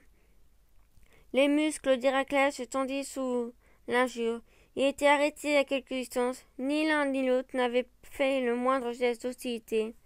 Le ton, pour, pourtant, n'était pas celui de la courtoisie, mais de l'autorité. Seriez-vous des dieux qui vivent pour toujours? Qui es-tu, toi, qui m'interroges de cette façon? Je suis quelqu'un important qui voit plus loin que toi. Manifestement, la réponse était faite pour laisser planter la doute. Or, il est bien connu que les dieux se promènent. D'ailleurs, il ne faut pas se disputer avec les voyageurs de rencontre. Quand ils peuvent saisir leurs armes les premiers, il valait mieux s'expliquer. L'animal est vivant, seulement épuisé de fatigue et blessé. Ici quelqu'un est sacrilège, n'est-ce pas celui qui a ordonné la chasse et non celui qui l'a exécuté? C'est l'oracle même d'Apollon qui me contraint à servir Eurythèse. L'homme en face de lui sourit. La femme grande et belle cessa de jouer avec la corde de son arc. Elle n'avait rien dit, mais sa bouche à elle aussi s'ouvrit soudain sur ses dents, éclatantes comme celles d'un carnassier. D'un mouvement de tête, elle entraîna son compagnon, et s'enfonçait dans l'épaisseur du taillis. Héraclès restait pétrifié au beau milieu de la forêt. Sans pas, aucun doute, sa marche était bien trop légère pour une mortelle. Le pas révélait la déesse. La déesse. Comment n'avait-il pas compris? Il avait cru voir des voyageurs. C'était le dieu à l'arc, Apollon en personne. Et elle, Archer, elle aussi, c'était sa sœur jumelle, Artémis. La Vierge chasseuse la maîtresse des fauves et de toutes les bêtes sauvages des montagnes et des forêts. Les oiseaux du lac Stanphal. Alors tu as vu Artémis et Apollon, comme tu te vois, et pas seulement eux. Tu as vu d'autres dieux. Athéna, quand j'ai chassé les oiseaux du lac Stanphal. Le lac Stanphal d'Arcotie a cinq jours de marche d'ici. Cinq jours pour toi, petit, moi je marche plus vite. Oh, raconte-moi ça aussi, je t'en prie. Bon, mais après, nous irons voir écrire un. Parce que je suis très content d'avoir fait ta connaissance. Tu es un jeune homme sympathique. Mais moi, c'est pour voir ton père que je suis venu dans ce pays. Bien sûr, c'est convenu. Je vais te mener chez lui. D'ailleurs, il n'a qu'à partir tout de suite. Tu rencontreras en marchant. Allons-y. Les environs du lac Stanfal, avec la ville au bord du lac, étaient infectés d'oiseaux voraces. Je ne sais pas si tu es allé à Stanfal déjà. Jamais. je ne suis encore jamais sorti d'élite. Eh bien, figure-toi que le lac et la ville sont tout environnés de forêts profondes. Elles servaient de refuge à d'innombrables oiseaux qui avaient peur des loups. Mais, dès qu'ils en sortaient pour se nourrir, c'était une vraie plaie pour les champs alentours. Comment faire pour débarrasser la région de ces milliers d'oiseaux? Tu comprends, ils étaient beaucoup trop nombreux pour qu'il soit possible de venir à bout en coups de flèche. On a beau tirer vite, il faut changer de flèche et il vient toujours un moment où il faut ramasser les cornes, ne serait-ce pas pour récupérer les flèches. Ma foi, j'aurais, j'aurais sans doute été bien embarrassé. Eh bien, à vrai dire, moi aussi je l'étais. C'est alors que j'ai reçu le secours de la déesse Athéna. Elle m'apporta de la part du dieu Ephitos une crécelle de bronze qui faisait un bruit épouvantable. Une crécelle? J'en avais une quand j'étais tout petit. Alors je plains tes parents. Mais celle dont je te parle n'était pas un jouet d'enfant. Elle était énorme. Il fallait être costaud pour la faire tourner. Et puis, elle était en bronze. C'est très lourd, le bronze. Mais surtout, je ne sais pas où juste comment la chose se fait. La déesse le sait sans doute, elle, puisque c'était son idée. Les oiseaux ne pouvaient pas supporter son bruit. Tu as dû faire l'expérience, il y a du bruit beaucoup plus pénible que les autres. Il y a même qui nous semble insupportable, absolument. Apparemment, c'était le cas du bruit de la crécelle pour ces oiseaux-là. Installés sur une colline dominant le lac, je les agitais d'une façon rapide et régulière. Et bientôt, en effet, les premières se sont envolées en poussant des cris affreux. D'abord des champs, et puis de la forêt. Bientôt, c'était un nuage qui obscurçait le ciel. il fallait toujours faire éviter, virer les crécelles, sans quoi, tu penses bien, j'en aurais fait un carnage. Dans le bruit infernal des ailes et des cris qui s'ajoutaient au bruit de mes crécelles, les oiseaux par milliers prenaient la direction du nord vers le pays de, Sk J'en avais la tête qui tournait, mais toujours c'était crécelle qui devait tourner. Quand le ciel commençait à se découvrir, quand je fus la fin du nuage abondant de crécelles, je saisis mon arc et mes flèches trop tard. Même les derniers étaient trop loin, mais je ne regrettais rien. Grâce au secours de la déesse, j'avais réussi à faire ce qu'il fallait. Pour le reste, bon vent, que les oiseaux et les critères se débrouillent entre eux. Oh, mais qu'est-ce que c'est là-bas? On dirait des enclos immenses. Eh bien, ils appartiennent à Ogias, mon père. Réjouis-toi, puisque c'est lui que tu veux voir. Nous approchons d'ici une heure ou deux, nous y serons. Une heure ou deux Tu veux dire que ces enclos sont longs d'une ou deux heures de, marche? Ma foi, oui, plutôt plus ou moins. Et plutôt plus que moins. J'ai abrégé le temps parce que je te fais voir marcher vite mais ce sont que les enclos du pâturage, eux, s'étendent sur plusieurs journées. Philos, mon jeune ami, je suis heureux du hasard qui nous a fait nous rencontrer, car j'ai de plus en plus envie de faire la connaissance de ton père. Le nettoyage des étapes d'Ogas. Ainsi tu es terrainte et tu viens en élite admirer ma richesse. Admirer ta richesse, ô roi, Oh, te proposer un marché. Quel marché pourrait m'intéresser? J'ai tout des femmes, des enfants, des palais, des trésors, des esclaves, et des vaches, des vaches, des vaches. Tu l'as vu, mes troupeaux comme des nuées, chargés d'eau posés par le, notos, emplissent l'horizon. De quoi pourrais-je avoir besoin? Ta renommée est grande jusqu'à Argolite, et mon cœur se réjouit avec toi de ta richesse, Ogias. Pourtant, j'ai entendu dire que, par leur abondance même, certaines de ces richesses finissent par te causer de l'embarras. Hmm, qu'est-ce que tu veux dire? Justement, le nombre immense de têtes de bétail qui peuplent tes enclos et parcourent les tailles d'élite a empêché jusqu'ici tes serviteurs de nettoyer les parcs, les étables et d'enlever les déjections des bêtes au point de la puanteur. Certains jours ont été insupportables. Tu trouves que ça sent mauvais si? Dis-le franchement. Non, mais le vent aujourd'hui est plutôt favorable. C'est vrai que par vent d'ouest. Enfin, que veux-tu en venir juste? On dit même que tu pourrais manquer un jour de terre à cultiver tant le sol est couvert d'une quantité monstrueuse de boue de sanis. On dit, on dit. Y a-t-il toujours des enjeux qui ont la langue trop longue? Tu dis bien vrai. C'est une engeance dont les dieux devraient purger les terres. Mais les dieux ont leur dessein. Laisse-moi t'exposer le mien. Je t'écoute. Voilà, me donnerais-tu le dixième de mes trapeaux Le dixième de mes trapeaux Tu es fou, c'est énorme. Attends, les services que je peux te rendre est un énorme aussi. Une bête sur dix, quelle folie as-tu en tête, voyons Si tu me donnes le dixième de tes troupeaux, tu es complètement fou. Attends, laisse-moi dire. Vas-y, je te propose de nettoyer en un jour tes parcs et tes étapes. Ah ah ah J'avais bien deviné que tu es fou, étranger. Personne au monde, sauf un Dieu, et encore, ne pourra accomplir une tâche pareille. Viens, n'en parlons plus. Passons à table et buvons. Tu m'as mis de joyeuse humeur. Un jour, nettoyer tout ça. Ah ah ah C'est trop drôle, sur ton dos. Je t'y vois. Tu n'as pourtant pas l'air du genre de personne qui l'ont confié ce type de travail. Enfin, c'est ton goût. Non, soyons sérieux. Crois-moi, il vaut mieux boire et banqueter. Personne n'a jamais été plus sérieux que moi. Je te dis, je te le répète, en échange d'une tête sur dix de ton bétail, je peux nettoyer les, tes étables et tes enclos de tout leur fumier. Tu fais le fanfaron. Très bien, je te prends en mot.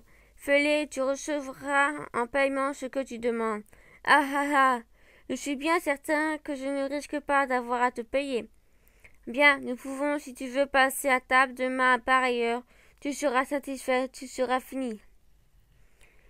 Que vas-tu faire de ta promesse impossible à tenir? Prends garde, mon père a un caractère inquiet. Il se peut qu'il te tienne rigueur de tes promesses quand il sera bien clair que tu ne pourras pas les tenir. Et qui te dit que je ne tiendrai pas? Mais comment? La chose est impossible mais quelqu'un de plus vigoureux que toi n'en viendrait pas à bout. Et puis, ce n'est pas le travail d'un prince, tu ne vas pas remplir une tâche d'esclave. Pour l'instant, l'heure commande le sommeil. Demain, tu verras. Phileuse, sans insister, se retira en laissant Héraclès à son repos. Or, il avait en élite traversé la terre d'Ogias, deux fleuves au cours impétueux, dont les hommes et les bêtes redoutaient les crues. Quel, euh, quelle que fût la saison, ni l'un ni l'autre n'était jamais à sec, car ils étaient alimentés par les sources nombreuses des hautes montagnes proches. Au printemps, quand, fondaient les neiges, leur flot était particulièrement abondant et ils renversaient tout sur leur passage. L'aube à peine levée, Héraclès se mit à l'ouvrage. Sans se préoccuper le moins du monde des étapes et de leur fumier, pour un travail de chien, bien digne d'un héros, et détourna le cours des deux fleuves de manière à les faire couler à travers les enclos qu'il fallait nettoyer. En quelques heures, les fleuves, eux tout emportés, on voyait de nouveau la face de la terre au lieu des ordures qui l'assaillissaient. Depuis si longtemps, délivrée, elle respirait de nouveau. Ah, traite, comment as-tu osé prétendre que tu voulais me rendre service alors que tout ce que tu as fait, tu ne l'accomplis que sur l'ordre? De ton maître Eurythès. Depuis quand les esclaves ont-ils droit à un salaire? Père, père, calme-toi. Notre hôte nous a pourtant véritablement rendu service. Que nous importe ce qu'il doit à d'autres si nous nous lui devons de la reconnaissance pour avoir libéré nos terres du fumier qui les empoisonnait. Tais-toi, tu n'es qu'un enfant. Tu n'as rien à voir là-dedans. C'est moi qui décide ici, et jusqu'à nouvelle heure. Roi Ogias, nous étions pourtant convenus que si tu nettoyais, que si je nettoyais tes étables, tu me donnerais le dixième de tes troupeaux. Eh bien, ne les ai-je pas nettoyés avec tous les parcs à bestiaux d'alentour? Tu les as nettoyés, mais je ne te dois rien, puisque ce n'est pas pour mon service que tu l'as accompli. Va réclamer ton salaire à Eurythès, qui te paie, s'il estime juste, puisque c'est lui qui t'emploie. Mais d'ailleurs, en fait, je ne t'ai jamais rien promis, puisque je ne t'ai jamais cru tu arriveras à tenir ton engagement. Pour qu'il ait promesse, il faudrait qu'il y ait une conscience claire de terme du contrat. Or, tu n'as jamais dit par quel artifice tu comptais t'y prendre. Et d'une certaine façon, tu m'as soutiré mon accord, parce que je croyais à une plaisanterie. Va-t'en, je ne te, vois, te dois rien. Ô roi, rien n'est pire que le manque de parole. Tu méprises les dieux en ne me donnant pas mon dû car enfin tes étapes sont-elles enfin purifiées ou non? Tes parcs et bestiaux sont-ils débarrassés des ordures qu'il a empuantisées ou non? Tes terres peuvent-elles de nouveau accueillir les cultures ou non? Sois juste, je regarde la façon dont se conduisent les rois. Écoute, prenons des arbitres pour dire entre toi et moi ce qui est juste. Ah, je veux bien, car nul ne pourra dire que ce qui n'est pas et que ce qui a été accompli ne l'a pas été. Alors mon père lui a dit, Fais-le et tu recevras un paiement ce que tu demandes. Philos, mon fils, comment oses-tu? Mon père, comment pourrais-je dire le contraire puisque j'ai été témoin de ce qui s'est dit entre vous? C'est une infamie de témoigner contre son père. C'est une infamie de témoigner contre la vérité. En vérité, je suis bien bête de me soumettre à tous ces simagrées.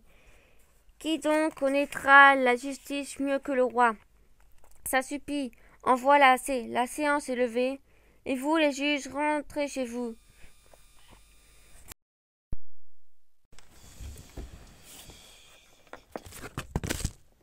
Et toi, fils ingrat, je te bannis de mon royaume, de ma présence. Va-t'en.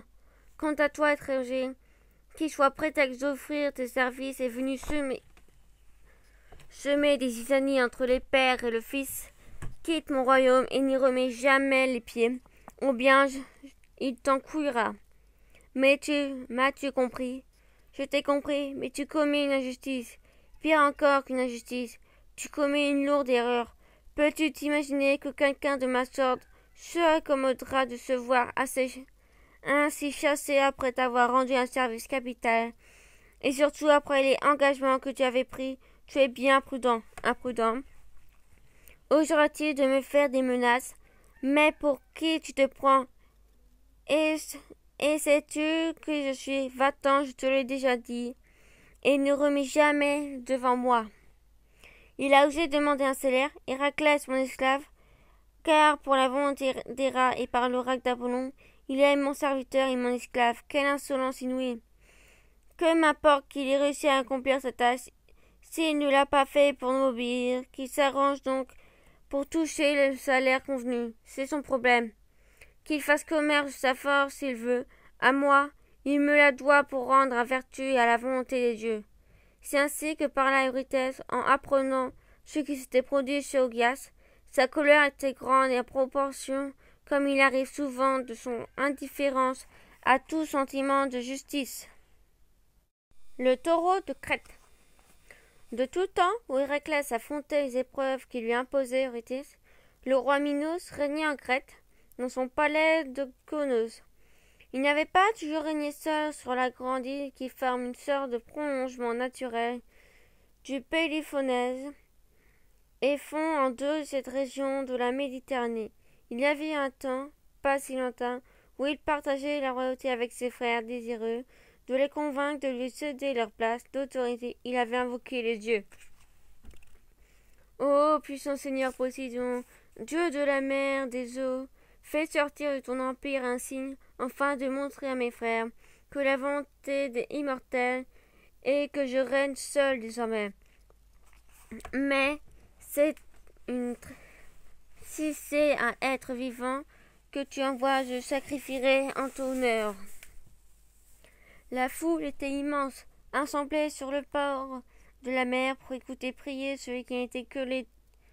le tiers d'un roi.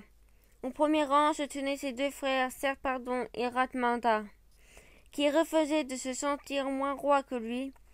Il s'en fallait de mieux, de bien peu que la rue Mérina, qui montait d'un si grand nombre d'hommes de couvre d'éternel mugissement balançait des poules. Or, on ne sait comment un, étrange silence gagna peu à peu toute la grève. Toutes les bêtes étaient tournées vers le large, et tous les yeux fixés sur le sentiment plombé des vagues. Et voilà que bien loin, presque sous l'horizon, sans il était, sans qu'il au ciel un seul nuage, il se fit comme une ombre sur la mer, comme une tache mate au milieu de l'éclat, les yeux froncés à l'extrême dans la lumière épouvantable. Du milieu du jour, les uns cherchaient en l'air un vain le moindre trace. Les autres ne quittaient pas le halo insensiblement qui semblait glisser vers le rivage. Tous retenaient leur souffle en frissonnant d'horreur à l'approche du devin. Mais, dans le silence devenu total, on s'aperçut bientôt que tout rentrait dans l'ordre. Le sentiment renaissait, absorbait doucement ce qui n'avait dû être que l'illusion d'un instant. Un soupir effaçait les poitrines. Soudain, ce ne fut qu'un seul cri. Une gerbe d'écume venait de jaillir à l'endroit même où l'illusion s'était évanouie. Un immense bouquet d'irrision et de blancheur, à peine retombé, jaillit plus haut, ne laissant plus de doute, irritation ou bienveillance. Le dieu avait répondu à la prière de Minos. On distingua bientôt parmi l'écume les mufles puissants d'un taureau et comme les bras d'une lyre, la courbe harmonieuse de ses cornes. Les vagues s'écartaient devant son âge rapide, puis revenaient d'environner, mais leur rouleau n'était plus que l'hommage de la mer et à la vivante manifestation de la volonté des dieux. Le puissant taureau blanc, à leur robe éclatant, apportait la toute puissance royale de Minos. Tu comprends, explique-t-il à son hôte, il était si beau que je ne me suis pas senti capable de le sacrifier. J'ai manqué à ma promesse, j'ai sacrifié à Foncidon le plus beau taureau de mes élevages, mais était loin de vouloir celui-là. Lui, je l'ai envoyé parmi mes troupeaux avec l'espoir qu'il enrichirait d'une progéniture aussi belle que lui. Hélas, quel fou j'étais, comme si l'on pouvait causer avec les dieux ou le traiter à la légère. Poséidon a raison, a rendu son taureau fou furie, il lui a fait souffler du feu par les noseaux. Brisant les liens et les enclos, il s'est échappé, renversant tout sur son passage. Depuis lors, il parcourt le pays et fait partout des ravages. À coups de cornes, il a intrépé tous les chiens, tous ceux que j'ai envoyés, pour tenter de le maîtriser. Et son souffle incendie les, les récolte. Je ne sais plus que m'incliner devant la colère de Poséidon. C'est le châtiment de mon parjure. Je ne suis roi que pour le malheur de mon peuple. Héraclès réfléchissait, décidément irrité, ne l'avait pas envoyé en Grèce pour une tâche plus facile que les précédentes. Un, taureau furieux n'est pas une mince adversaire, surtout quand un dieu hérité l'égounia. Minos reprit. Tu es donc le bienvenu, et nous bénissons notre cousin Eurythès d'envoyer à notre secours un héros tel que toi. S'il ne choisissait que d'abattre la bête, tu serais bien, tu serais fait depuis longtemps, car les Crétois sont de bons archers, tu le sais. Mais tu sais aussi qu'il serait sacré de tirer sur un animal sacré. On peut le sacrifier pour le chasser. Ce serait nous exposés à un redoublement de la colère divine? Héraclès approuvait pensivement. Donne-moi des rabatteurs que je puisse l'acculer dans un endroit fermé. Ensuite, je fais mon affaire. Ah non, tu ne dois pas compter sur mon aide. J'ai compris que je ne dois plus rien entreprendre. Ma simple collaboration attirait sur toi la colère du Dieu. Et puis, trop de mes serviteurs sont déjà morts en affrontant le monstre magnifique. C'est assez de malheur pour nous. Non, un lutteur comme toi, un étouffeur de loin, peut bien se tirer d'affaire tout seul. Rends-toi maître de l'animal, emmène-le à Arcolite. Eurythès sera satisfaite. Ne demande rien de plus. Quand il trouvait la trace du taureau, en suivant les dégâts qu'il faisait à travers le pays, une indication des habitants terrorisés, Héraclès choisit pour l'approcher un moment où il était en train de paître. Il eut grand soin de se placer au vent pour lui faire sentir l'odeur de la peau du lion de Némée, qui portait en guise de, de cuirasse. L'animal aussitôt releva la tête en poussant un long beuglement. Faisant glisser la peau du lion sur de ses épaules, Héraclès s'enfonça en l'agitant à deux mains devant lui, de manière à fixer sur elle l'intention de la tête de la bête. Le taureau immobile abaissa lentement la tête, puis la releva. Il se mit à heurter la terre du sabot, arrachant le sol, au sol l'herbe maigre qui le couvrait. Le héros, pas à pas, marchait droit vers lui. Soudain, crachant le feu par le naseau, le taureau pointa en avant ses cornes, redoutable et sans ça. Héraclès s'immobilisa. La terre semblait sous la charge, et le sol résonnait sous le choc du chabot, comme un tambour de guerre. Héraclès ne bougeait pas. Quand le taureau fut pour, sur lui, évitant d'un coup de rein les cornes, il fit voltiger bien haut de la peau du lion. Il fatigua ainsi durant un long moment le, lourd animal qui revenait inlassablement s'attaquer en l'heure qui lui tendait le héros. Enfin, quand il lui sembla que la charge se faisait moins fréquente et moins résolue d'un geste large, il jeta la peau de lion bien loin et resta face au taureau, les mains nues. L'animal resta perplexe un instant. Il avait failli s'élancer vers la vol planée de la paume, mais ce fut pour finir vers l'homme qui lui harcelait maintenant de cris. Dans la tonnerre de la galopade, le héros regardait les deux cornes baissées qui venaient droit sur lui. Un infime instant avant qu'elle ne le transperce, il se jette en avant, et en le saisissant, à peine main, il voltigea par-dessus le taureau en plein élan, de manière à retomber sur le dos de celui-ci. Là, il se retourna prestement. Dès que l'animal eut compris, il se mit à ruer et à sauter en tous sens pour se débarrasser de ce cavalier important.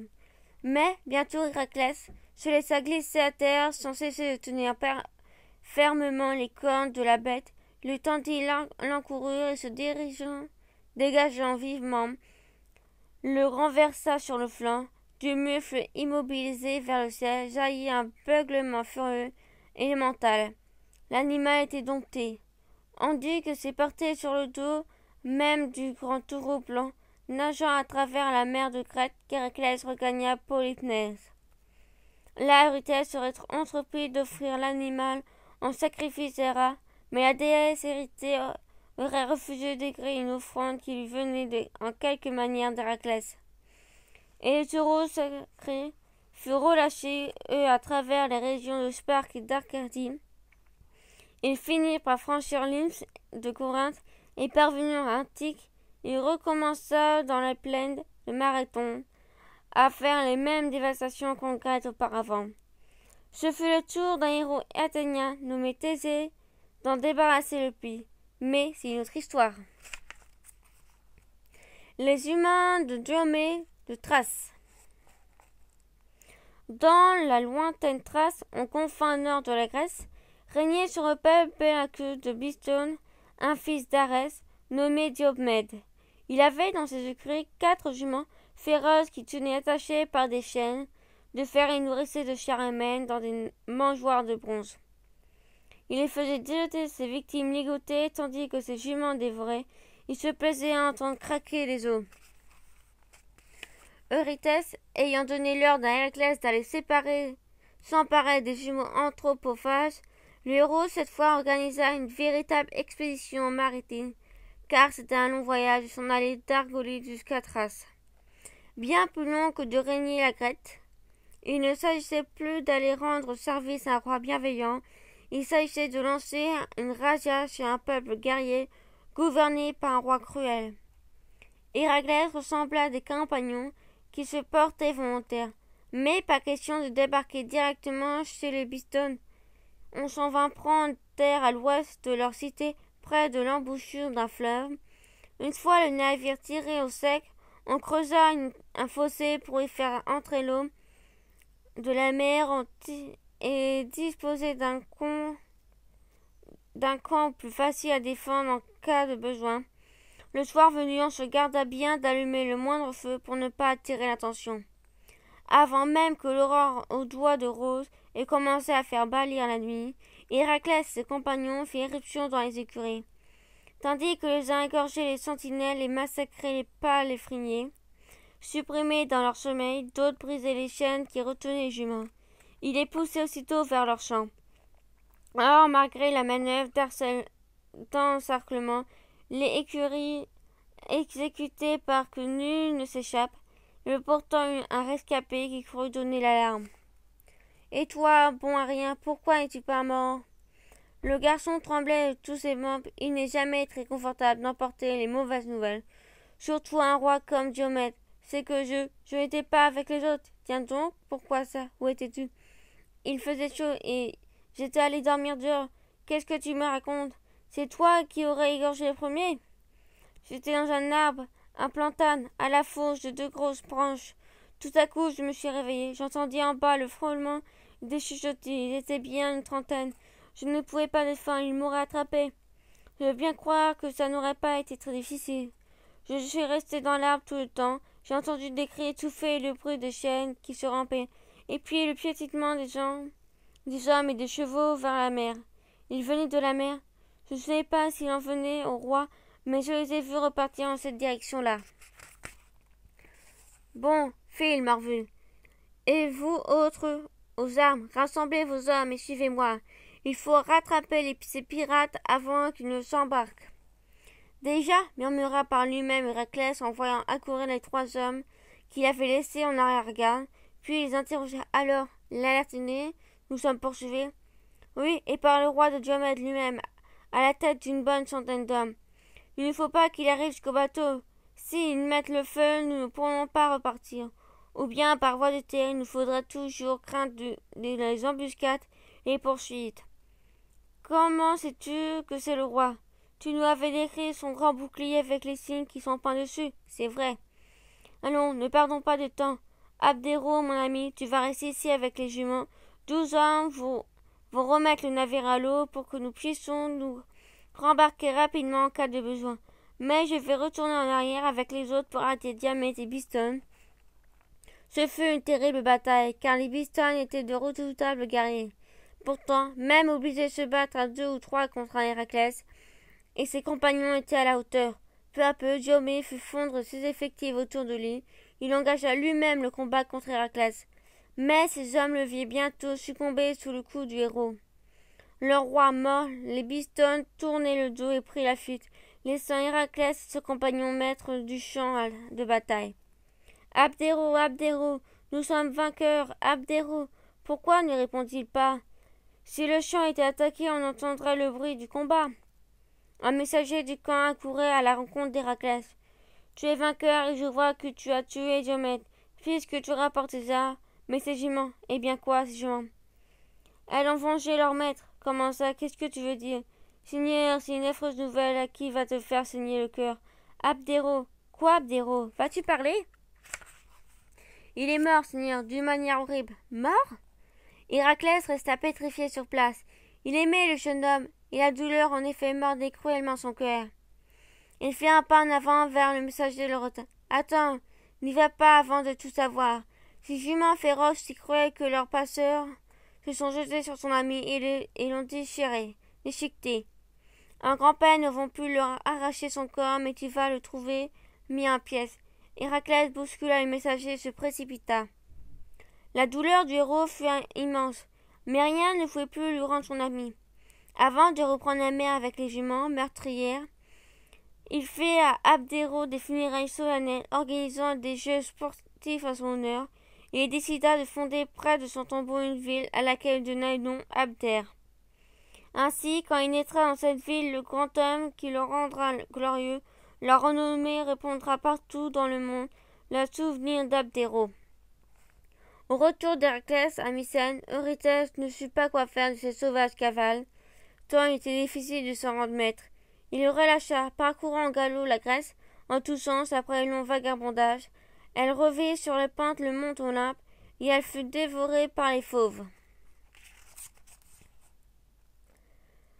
Le ceinturion de la reine des Amazones.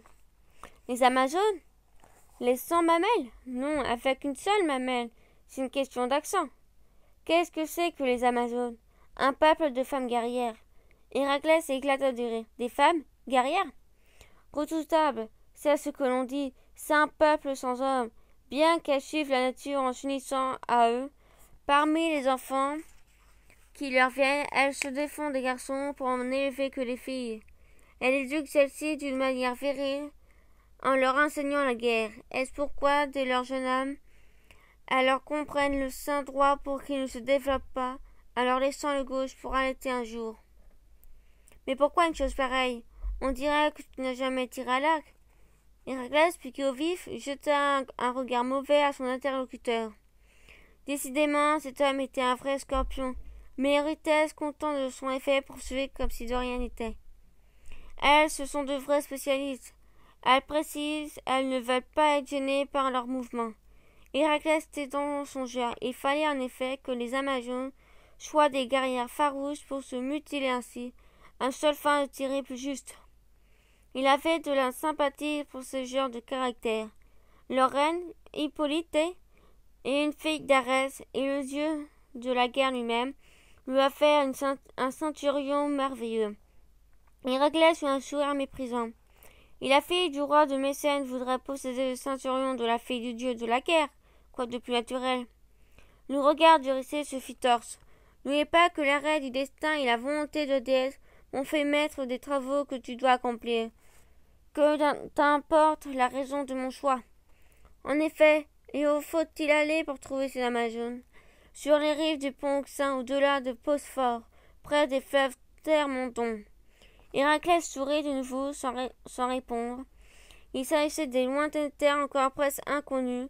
Manifestement, Eurysthèse devait chercher de plus en plus loin des dangers à lui faire affronter. Eh bien, il allait donc de nouveau équiper un navire à recruter ses compagnons. Un navire en train de jeter l'ancre dans l'embouchure du fleuve. La voile porte-t-elle l'emblème d'Héraclès Si c'est lui, enfin, qu'il soit le bienvenu. Car le bruit de l'expédition avait procédé le héros dans le pays des Amazones. Elle savait que ses compagnons et lui avaient pris la mer en destination de leur cité, de Dismikira, la reine Hippolyte, avec une grande impatience de connaître un héros si fameux. Les autres Amazones, tout en partageant la curiosité de leur reine, restaient plus méfiantes. À l'égard d'une visite dont il était impossible de savoir à l'avance si elle sera amicale ou hostile, à cheval, il faut aller au-devant des étrangers. Ils doivent être en train de débarquer à l'heure qu'il est. Il serait malsain qu'ils ne trouvent personne pour les recevoir. Une troupe nombreuse de cavalières, Hippolyte en tête, se porta donc en petit trou à les rencontres des arrivants. Héraclès, débarqué parmi les premiers, regardait avec ses compagnons le nuage de poussière qui grandissait. Il annonçait l'approche d'une troupe nombreuse, et de plus loin qu'il l'avait aperçu, il s'était mis en situation de parer à toute éventualité. À quelque distance des rivages, le gros de la troupe s'arrêta. Seul un petit détachement qui entourait la reine s'avança. Mais, avoir approché ami ou ennemi, la magnifique cavalière, les hommes qui venaient de prendre terre laissaient passer un second plan de nécessité guerrière. Toute l'admiration qu'ils éprouvaient devant leur farouche montée. Soyez les bienvenus. La reine se dirigea droit vers Héraclès. Il n'était pas difficile de le reconnaître, même sans l'avoir jamais vu, car il dépassait de la terre tous ses compagnons. Reine, si tu sais qui je suis, tu dois savoir pourquoi je suis venu. Héraclès ne savait qu'admirer de plus le précieux centurion vrasier sur lequel les plaques d'or se jouaient avec la lumière ou, les, ou de l'admirable prétexte qui le portait. L'amitié d'un héros comme toi vaut mieux plus que la plus précieuse des paires, et je t'offrirai de grand cœur celle-ci en gage d'hospitalité. Des deux côtés, des sourires se répandaient sur le visage. Les rangs des deux troupes s'assouplit et et il leur échangeait bientôt avec de grands gestes des déclarations d'amitié. Or, du haut de mon âme, Héra voyait toute la scène, et ce petit qui avait tant de colère dans une âme divine, elle s'en irritait violemment. Alors, au lieu de baigner d'effronter le terrible danger, ce bâtard n'aurait eu que l'agrément du voyage. Il comporterait un cadeau, ce qui devait être l'occasion de sa perte. Mais moi, je suis déesse ou non Aussitôt, de la haute demeure des dieux, elle s'élança pour gagner le rivage du point Xu. Le voyage fut vite fait. C'était affaire de quelques pas pour une déesse. Prenant l'apparence d'une Amazone, elle vint se mêler de la troupe d'Hippolyte, avait laissé une réserve loin du rivage. Mais vous ne voyez donc pas qu'on enlève la reine? Trahison Elle accueille ses étrangers d'une façon hospitalière, mais eux, ils veulent l'emmener de force. Mais est-ce que vous n'apercevez pas là-bas que le désert s'est dans les rangs C'est à bouscular des prophètes des intentions pacifiques de la reine, et nos compagnons n'ont pas eu le temps de saisir leurs âmes. Il faut aller à leur secours. Trompés par ces paroles, les Amazones sortirent à cheval pour courir à la rescousse. Mais en voyant arriver cette troupe au galop, Héraclès et ses compagnons à leur tour crurent qu'il était tombé dans un piège. Nous sommes trahis, les amis. En garde C'étaient de belles paroles pour nous amadouer. En disant ces, mots, Héraclès tirait son épée. Il la plongea dans le corps d'Hippolyte avant qu'elle ait pu faire un geste. Il s'empara immédiatement de son splendide ceinturion. Aussitôt, la mêlée fut générale dans le plus grand confusion, car les deux troupes avaient rompu leur rang. Mais, profitant du désarroi des Amazones devant la mort de la reine, Héraclès redit à ses compagnons Au navire, en horde, nous n'avons plus rien à faire ici, dépêchons-nous de rembarquer et de mettre à la voile. Les uns se précipitaient sur les rames, tandis que les autres se repliaient pied à pied en combattant. Quand le navire fut paré, il vira du bord sous une pluie de flèches, mais le vent était favorable. Une fois le voile hissé, il se trouvait vite hors de portée. La ruse d'Odès avait allumé la guerre, pourtant l'épreuve était accomplie. Après bien des aventures durant le retour, mais qui pourrait jamais compter toutes les aventures d'un héros comme Héraclès, le centurion de la reine Zamajone remis entre les mains d'Admer, fille d'Eurythès, fut, fut consacré par elle dans le sanctuaire d'Héra dont a été la prêtresse. Les vaches guérions. Plus qu'un, encore trois. Comment ça Eh bien, si tu comptes qu'il y a douze travaux, c'est ce que je dis. Alors le compte n'y est pas. Mais si, tu n'as qu'à récapituler, tu vas voir. C'est toi qui vas voir ce que tu vas voir. 1. Le lion de Némée. 2. L'hydre de Lerne. 3. La biche de Kéria. Oh non, 3. Les centaures. Non, les centaures ne comptent pas. Comment ça Avec le nombre qu'il a tué? Oui, mais c'était à son compte personnel, pas sur l'autorité. Nous disions donc 3 à la biche. Non, le sanglier diamante. Il y a des gens qui mettent la biche avant le sanglier et d'autres après. Euh, eh bien, nous, c'est après. Bon, si tu veux. 3. Le sanglier de Derman. 4. La bise terminée. 5. Les oiseaux du lac de Stamba. 6. Le nettoyage des écuries d'Ogas. Les étapes d'Ogas pour les, pas les écuries. Mais pourquoi les gens disent qu'Héraclès nettoyer les écuries d'Ogas Laisse dire les gens des écuries. Il n'y a pas de chevaux, mais des vaches. Ça s'appelle les étapes. 7. Le taureau de Crète. 8. Les cavales de, Diome et de Thrace. Oui, les juments de Diomé. Les cavales, c'est pas pareil que les juments. Si, si, ça va, ça va. Neuf, la fondation d'Abder. Mais non, ça non plus, Ritest ne lui avait pas ordonné. Sinon, tu n'y comprends plus rien. Tandis que toi, tu es toujours le plus, malin. C'est bête, parce qu'avec les centaures Albert et le centurion de la reine des Amazones, ça faisait onze, et il ne nous en manquait plus qu'un. Oui, eh bien, c'est comme ça.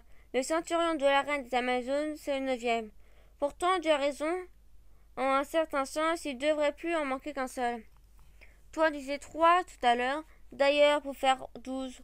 Justement, il, il paraît qu'à l'origine, il devait en avoir que dix. Mais enfin, tout le monde parle de douze travaux d'Héraclès. Tout le monde peut se tromper. Le pité d'Elfe lui avait ordonné de se mettre au service d'Arrêté pour douze ans, mais pour dix travaux. Alors, c'est ce que je disais, plus qu'un. Oh non, encore trois. On dit qu'il y a eu deux, épreuves que n'a pas voulu compter. Quoi? Mais c'est dégoûtant. Lesquelles? L'hydre de laine, parce qu'Héraclès n'a eu pas, pas venu au bout d'un seul, tout seul, mais qui a fait appel à son neveu Hélios. Et le crabe, il ne compte pas le crabe qui est venu au secours de l'hydre, contre deux, même Héraclès. Les étapes de gaz, parce qu'Héraclès a demandé un salaire, alors lui a imposé, paraît-il, deux autres épreuves, en remplaçant celle-là. C'est bien qu'au lieu de faire dix, ça fera douze. Qu'est-ce que c'est que ces deux dernières épreuves? Ça, je n'en sais pas plus que toi. Le client d'hier n'était pas au courant. Ah là là, c'est ça l'inconvénient dans ce métier. On a affaire au premier venu. Enfin, là tout de même raconter le deuxième travail. Et puisque je, puisque je n'étais pas là, tu pourrais me faire profiter des nouvelles. Mais c'est que j'allais faire. C'est toi qui t'es mis à récapituler ne te fâche pas, tiens, racontons-nous là, allons de ce banquet le lentisme. On laissera passer un peu la chaleur en pendant ce temps-là. Tu me raconteras. Eurysthèse ne décorerait pas les crêtes, la crasse, l'arrivage lointain de Ponce enceint, il s'en tire toujours. Et il revint. Bon, je vais l'envoyer au bout du monde, et même plus loin tout seul. Pas de bateau, pas d'équipage, à pied. C'est ainsi qu'Héraclès se mit en route vers le couchant pour gagner l'île d'Eurythée, la rencontre où il devait s'emparer des vaches de Chirion. Encore une sorte de vache? Tu connais une meilleure façon d'être riche d'eau? Si on, si on avait des troupeaux de vaches, tous les deux on ne serait pas là au bord de cette fichue route, toujours en train d'attendre que quelqu'un se décide à passer. Oh, on est pas mal ici à l'ombre. Sérion, fils de, de Chryséor, était un géant à trois corps. Comment fait-on pour avoir trois corps et se est trois fois? L'histoire ne dit pas. Il avait trois corps, voilà tout. C'était un monstre comme le lion de Némée ou les de Lerne, mais un monstre dominant humain. Ce sont peut-être les pires. Il élevait des vaches pourpres dans une île située dans le cours du fleuve Océan, en face du royaume du Tartasso. Héraclès commença donc par passer en Crète, à nouveau où il débarrassa pays de toutes sortes de monstres et de brigands. Sympathique. Que veux-tu, mon pauvre? Mon pauvre, passons, passons. Puis s'embarqua pour Libé, où là encore, il débarrassa le pays de toutes sortes de monstres et de brigands. Passons, passons. On dit qu'il est tellement chaud à Libye qu'il menaça le soleil de ses flèches. Ah ah ah. Pourquoi ris-tu? Je le reconnais bien là. Il n'est vraiment pas très malin. Peut-être, mais Dieu fut stupéfait de, sa bravoure. Et la chose a peut-être joué un rôle de sa suite, tu vas voir. Arrivé à la limite de Libé, de l'aurore, il dressa pour marquer son passage deux énormes rochers qui se font face au port de part et d'autre du détroit que l'on appelle depuis les colonnes d'Héraclès. Ça doit être grandiose, j'aimerais voir ça. Enfin, il paraît que là-dessus non plus tout le monde n'est pas d'accord. Les disent qu'avant son passage, la Libye et l'aurore se rejoignaient et que c'est lui qui a ouvert le passage au bateau en perçant l'isthme pour créer le détroit, les hommes disent que le détroit était beaucoup plus large et qu'il a eu contraint de rétrécir de manière à empêcher les monstres de l'océan de pénétrer dans notre mer à nous. Il a bien fait. Arrivé à Tartessos, il était bien embarrassé car il voyait l'île d'Erenia, mais comment traverser l'océan C'est alors que le soleil lui prêta pour naviguer sur l'océan le chaudron d'or dans lequel il retourne lui-même chaque soir vers le levant après avoir traverser le ciel. Quoi, quoi? Qu'est-ce que c'est que cette histoire? Tu sais bien que Phobios Apollon, le soleil, traverse le ciel tous les jours sur son char de l'Orient à l'Occident. Évidemment, tout le monde sait ça. Tu me prends pour un idiot? Eh bien, alors, puisqu'il repart chaque jour du même endroit que la vieille, il faut bien qu'il retourne pendant la nuit. Euh, oui. Tiens, c'est vrai ça. Et comment il retourne-t-il à ton avis? Comment veux-tu que je sache? Dans le chaudron en question, flottant sur l'océan. Le soleil dort avec délice pendant que le courant de l'océan le ramène à son point de départ. Il le prête à Héraclès, c'est ce qu'on raconte. Tu vois qu'en fin de compte, ce n'est pas si bête de l'impressionner. Un peu en le menaçant. Héraclès put donc débarquer dans l'île du en passant ou passer les vaches de Guérion. En somme, c'est un peu un confrère, quoi. Il fait en grand ce que nous faisions en petit. Qu'est-ce que tu veux dire? Bah, il va voler des vaches. Tais-toi si quelqu'un t'entendait. Mais il n'y a personne. Or, le troupeau des Girions était gardé par de nombreux chiens ordos qui se jeta sur Héraclès. Un bon coup de massue lui régla son compte. Bravo, j'ai horreur de ces sales bêtes. À cause d'elle, tant de tas d'endroits il n'y a pas moyen de traverser, de travailler. Mais le bouclier irrité accourut au secours du chien. Héraclès le tua aussi d'un coup de massue. Il n'avait qu'à faire semblant de ne rien voir et rester dans son coin, celui-là. Héraclès aussitôt commença le troupeau. À moins c'est du travail vite fait. Mais le bouvier qui gardait non loin de là les vaches d'Athès, le dieu des morts courut prévenir Girion, qui se lança à la poursuite d'Héraclès. Ça, c'est un sérieux pépin. Et il le rattrapa. Aïe aïe aïe Juste avant qu'il n'emporte avec les bêtes, dans le chaudron d'or du soleil, le combat fut terrible. Je m'en doute. Girion était terrifiant à voir avec ses trois corps, ses trois têtes et tous ses bras et tous ses jambes. Mais Héraclès sans la moindre peur. Écoute, s'il n'a pas eu peur de nous, c'est qu'il n'a peur de personne. Euh, enfin, bref. Il bonda son arc et abattit Zirion à coups de flèche. Après quoi, il embarqua son bétail, traversa l'océan, rendit les chaudrons d'or et jaillit au soleil, prit le chemin du retour. Hop, et voilà qu'il est enlevé. Enlevé, peut-être, mais il est resté à ramener les vaches d'héritage. Sans quoi, c'était encore un travail qui comptait pour rien. Ça ne doit peut-être pas à une mince aventure de faire un pareil trajet avec un troupeau. Les vaches ont parfois de ces fantaisies, et puis on croise dans des gens malhonnêtes sur le chemin. Et comme tu dis, de Tartezos, il paraît qu'il revint jusqu'en Grèce en marchant toujours le long des côtes par l'Ibérie, la Gaule, la Gueulerie, l'Italie, la Sicile, l'Irie et les pires. Un peu partout, il a affaire à des collègues. Dans le sud de la Gaule, après avoir traversé un grand fleuve qui se jette par là dans la mer, il se trouva dans une plaine immense. Or, comme s'il était déjà profondément affronté, Enfoncé, il fut attaqué par un si grand nombre d'antigènes qui épuisa toutes ses flèches et en massacra tant qu'il put. Après, plus de flèches, mais des ennemis piquèrent. Il en restait par milliers, comme des mouches. Par milliers? Oh, frère dit, j'exagère, j'exagère. Va un peu leur demander la base si j'exagère. Et le sol était plat et nu comme le sol de la main. Pas un rocher, pas une pierre, pas un caillou à ramasser pour, les pour leur jeter. Perdu, il allait forcément succomber sous leur nombre. Oui, oui, des milliers. Parfaitement. Alors il fit une prière à Zeus pour le supplier de l'aider. Et Zeus pour secourir s'y tombait un pluie de cailloux, de quoi reprendre joyeusement le massacre. Sauvé, mais comme Zeus ne fait jamais les choses à moitié depuis lors, la plaine en question restait couverte de cailloux. On dirait qu'il n'en pousse plus truc que le chardon. Plus loin, c'est un brigand tout seul qui lui a volé une partie du troupeau pendant qu'il se, reposait. Un malin celui-là. On met Cosus, écoute bien. Pour qu'on ne puisse pas le suivre à la trace, il avait fait marcher les vaches en reculant, en le tirant par les queues. Super comme idée. Eh oui, il aurait mérité de réunir, mais tu penses bien que ce réveillon, laisse à compter ses vaches et il s'est mis à chercher partout celle qui manquait. Il les a trouvés? Non. Enfin, si, pas tout de suite. Il les a trouvés. Il les trouvait pas. Que Sus les avait enfermés dans, sa caverne. Mais elles ont beuglé les vaches. Et Héraclès les a entendus. Il a tout compris en arrachant les rochers au sommet de la colline, comme on décalope un œuf dans la coque. Il a écrasé Cossus sur le rocher de sa pauvre caverne. Immoral.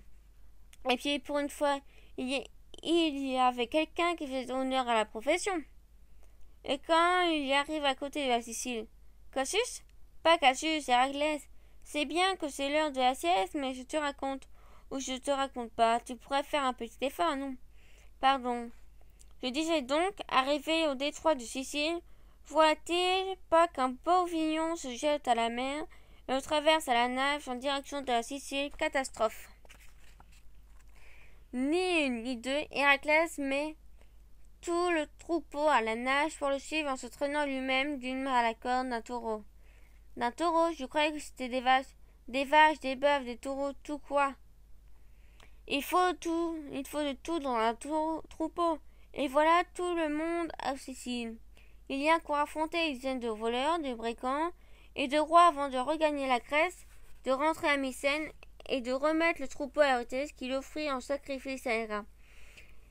Que d'espoir, comment fait-il? Tu sais, l'euro, c'est comme ça. Ça accomplit des exploits, on dirait que ça ne peut s'en empêcher. Eh oui, chacun son loup. C'est comme nous autres, on ne peut pas s'empêcher d'attaquer les voyageurs, puisqu'on est des bandits de grands, de grands chemins. Mettez-toi donc, imbécile. Les pommes d'or du jardin des Espirides.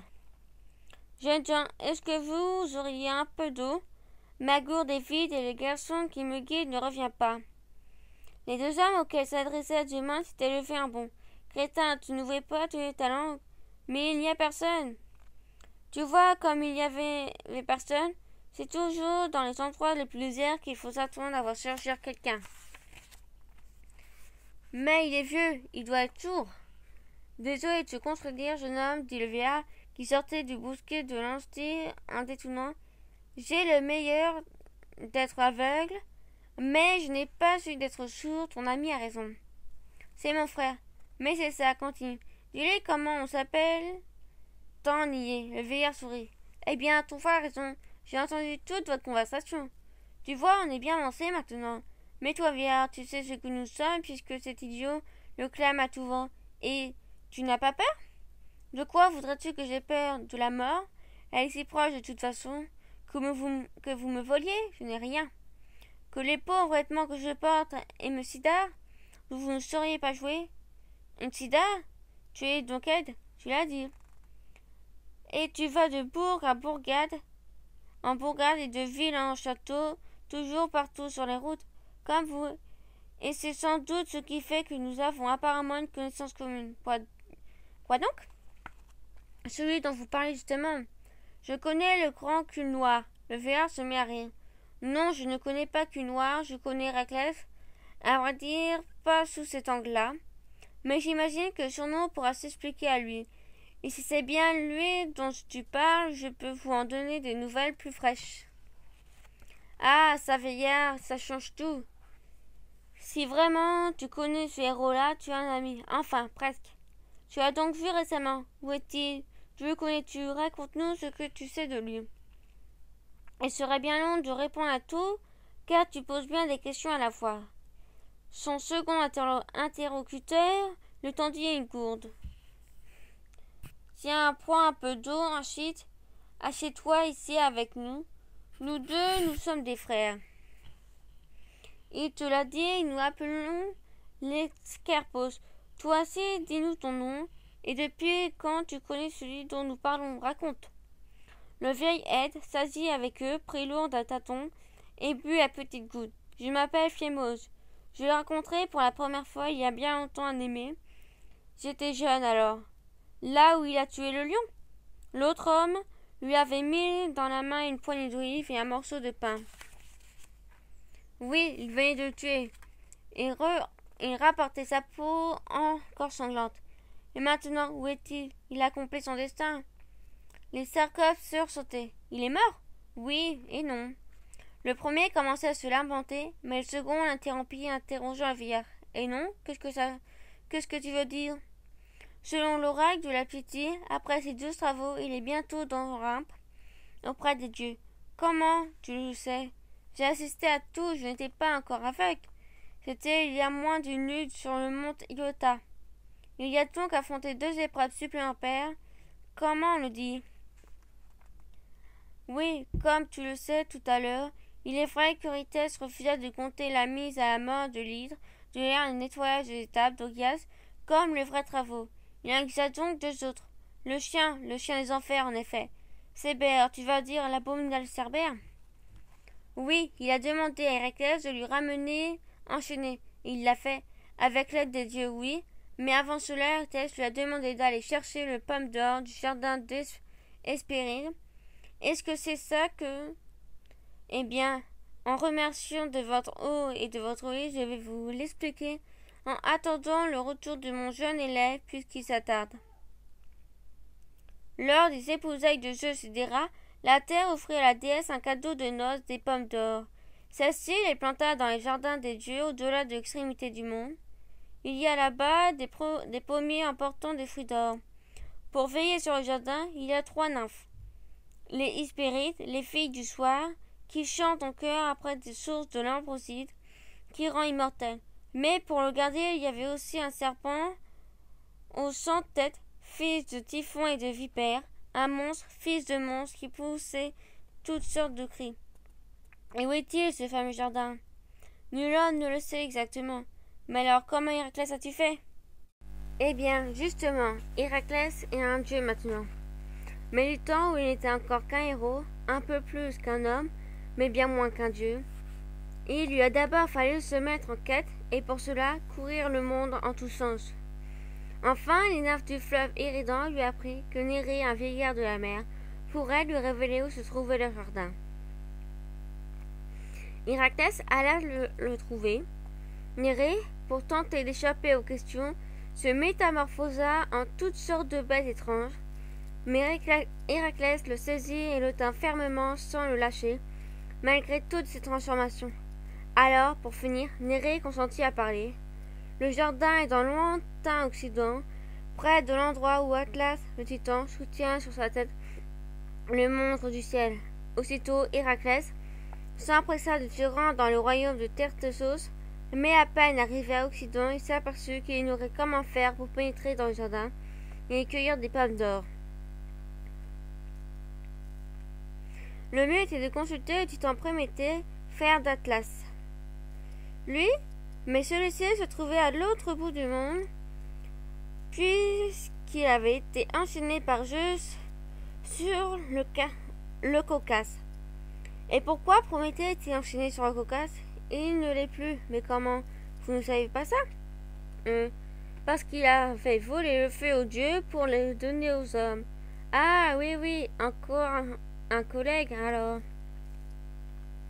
Et Zeus, pour le punir, l'avait fait emprisonner au sommet de Caucase, où un aigle venait lui dévorer la foi qui repoussait toujours, si bien que son supplice atroce n'avait pas de fin. Les cercopes frémissent d'horreur. Et maintenant, pourquoi tu dis que c'est fini? Oui, Héraclès a délivré. L'a délivré Ah D'Occident, il repartit donc par la Caucase, il passa en Libye. Là, il rencontrait en tête un géant qui forçait tous les voyageurs à lutter contre lui et les tuait. Il était fils de la terre et reprenait des forces dès qu'il le touchait. Héraclès, dans la lutte, le ceintura et le maintint soulevé au-dessus du sol, sans lui permettre de reprendre contact avec lui, si bien que ses forces déclinaient qu'il put le broyer dans ses bras. Bravo. Mais alors qu'il s'était endormi, fatigué par la lutte, les pygmées, fils de la terre, comme le géant, voulurent venger leur frère. À son réveil, Héraclès se trouva étroitement ligoté. Quand il vit autour de lui tous ces petits bonhommes minuscules, il se mit à rire. Brisant les liens, il attrapa une poignée des pygmées et le jeta au fond de, au fond de la peau du lion de Némée dans une patte qui lui servait de poche. Et il fit un nœud en se disant que le montrerait à Eurydice. Les pygmées, ça n'existe pas. Tais-toi, tu vas être poli. En tout cas, moi, j'en ai jamais vu. Puis il arriva en Égypte. C'était au temps des forces féroces roi Busiris celui-ci sacrifia les étrangers de passage sur l'autel de Zeus à cause de la disette qui régnait dans le pays. Il agissait ainsi sur le conseil d'un devin venu de Chypre. D'ailleurs, à peine le conseil donné, Cyrus avait fait sacrifier son auteur. Héraclès saisit et ligoté pour être sacrifié, prisa saigner encore une fois et tua le roi criminel. Il parcourut encore la Libye extérieure, l'Éthiopie, l'Arabie, il s'embarqua de nouveau dans les chaudron d'or du soleil pour naviguer sur l'océan avant de parvenir enfin à Caucase. Dans le, dans le soleil levant, il aperçut Prométhée enchaîné au rocher. Comme il avançait pour l'interroger, une ombre soudain glissa sur le rocher. Un immense planait au-dessus de lui. C'était le monstre, fils des monstres, fils de Typhon et de la vipère qui revenait toujours dévorer le foie de son victime. Le vol silencieux s'acheva dans un terrible froissement d'ailes. À l'instant où il s'abattit sur Prométhée, Héraclès, avant même d'avoir réfléchi, avec saisi son arc. Au lieu de reprendre sa tâche de bourreau, le monstre, transpercé d'une flèche, roula dans l'abîme. Rageux, qui avait condamné Prométhée, consentait à, le libérer pour la gloire de son fils. Héraclès brisa les chaînes du titan. Les cercopes reniflaient émus de la générosité de leur grand ami. Tu m'as sauvé d'un supplice abominable et tu me rends ma liberté. Rien ne me permettra jamais d'acquitter la dette de reconnaissance que j'ai envers toi.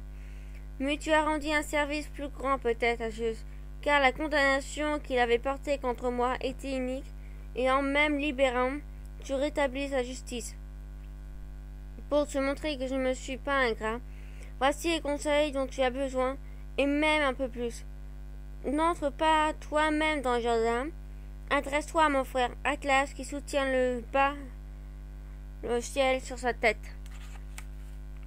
Atlas, toi qui soutiens ici le ciel sur ta tête, je suis venu jusqu'à jusqu'ici, car le roi Eurytis me l'a imposé, venu d'un oracle. Je sais, on parle de tes travaux dans tout l'univers. Je t'ai aperçu de loin la dernière fois que tu es venu. Eurytis veut voir des pommes d'or. Ton frère Prométhée m'a conseillé de m'adresser à toi. Excellente idée qu'il le, qu'il le promettait. Mais comment veux-tu que j'aille te chercher des pommes? Le ciel est posé sur ma tête, impossible de bouger.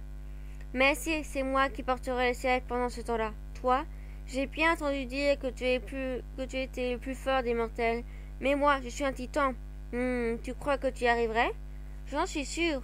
Alors, Atlas souleva un peu le ciel à la force de bras, tandis qu'Héraclès se glissa à sa place. Oh là là, que c'est lourd, s'exclama Héraclès. Ah, dis donc, ça fait du bien quand ça s'arrête, soupira Atlas. Mais invisible aux côtés d'Héraclès, la déesse Athéna s'allongea un peu sous forme son effort en soutenant le ciel d'une main. Mais qu'est-ce qu'il fabrique? Ça fait longtemps qu'il est parti. Je n'en peux plus. Ah, te voilà, c'est pas trop tôt. Ça y est, tu vois, je les ai.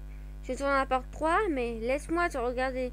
Quel costaud On dirait que tu as fait ça toute ta vie, de porter le ciel. Quelle pose, quel muscle Et pas de trace de fatigue. Tu es dans une forme époustouflante. Oui, oui, ça va. Tu sais ce qu'on va faire?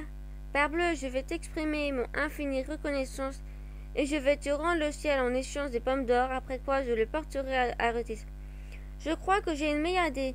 Puisque tu t'en tires si bien, je ne l'aurais pas cru, mais vraiment je suis frappé d'admiration.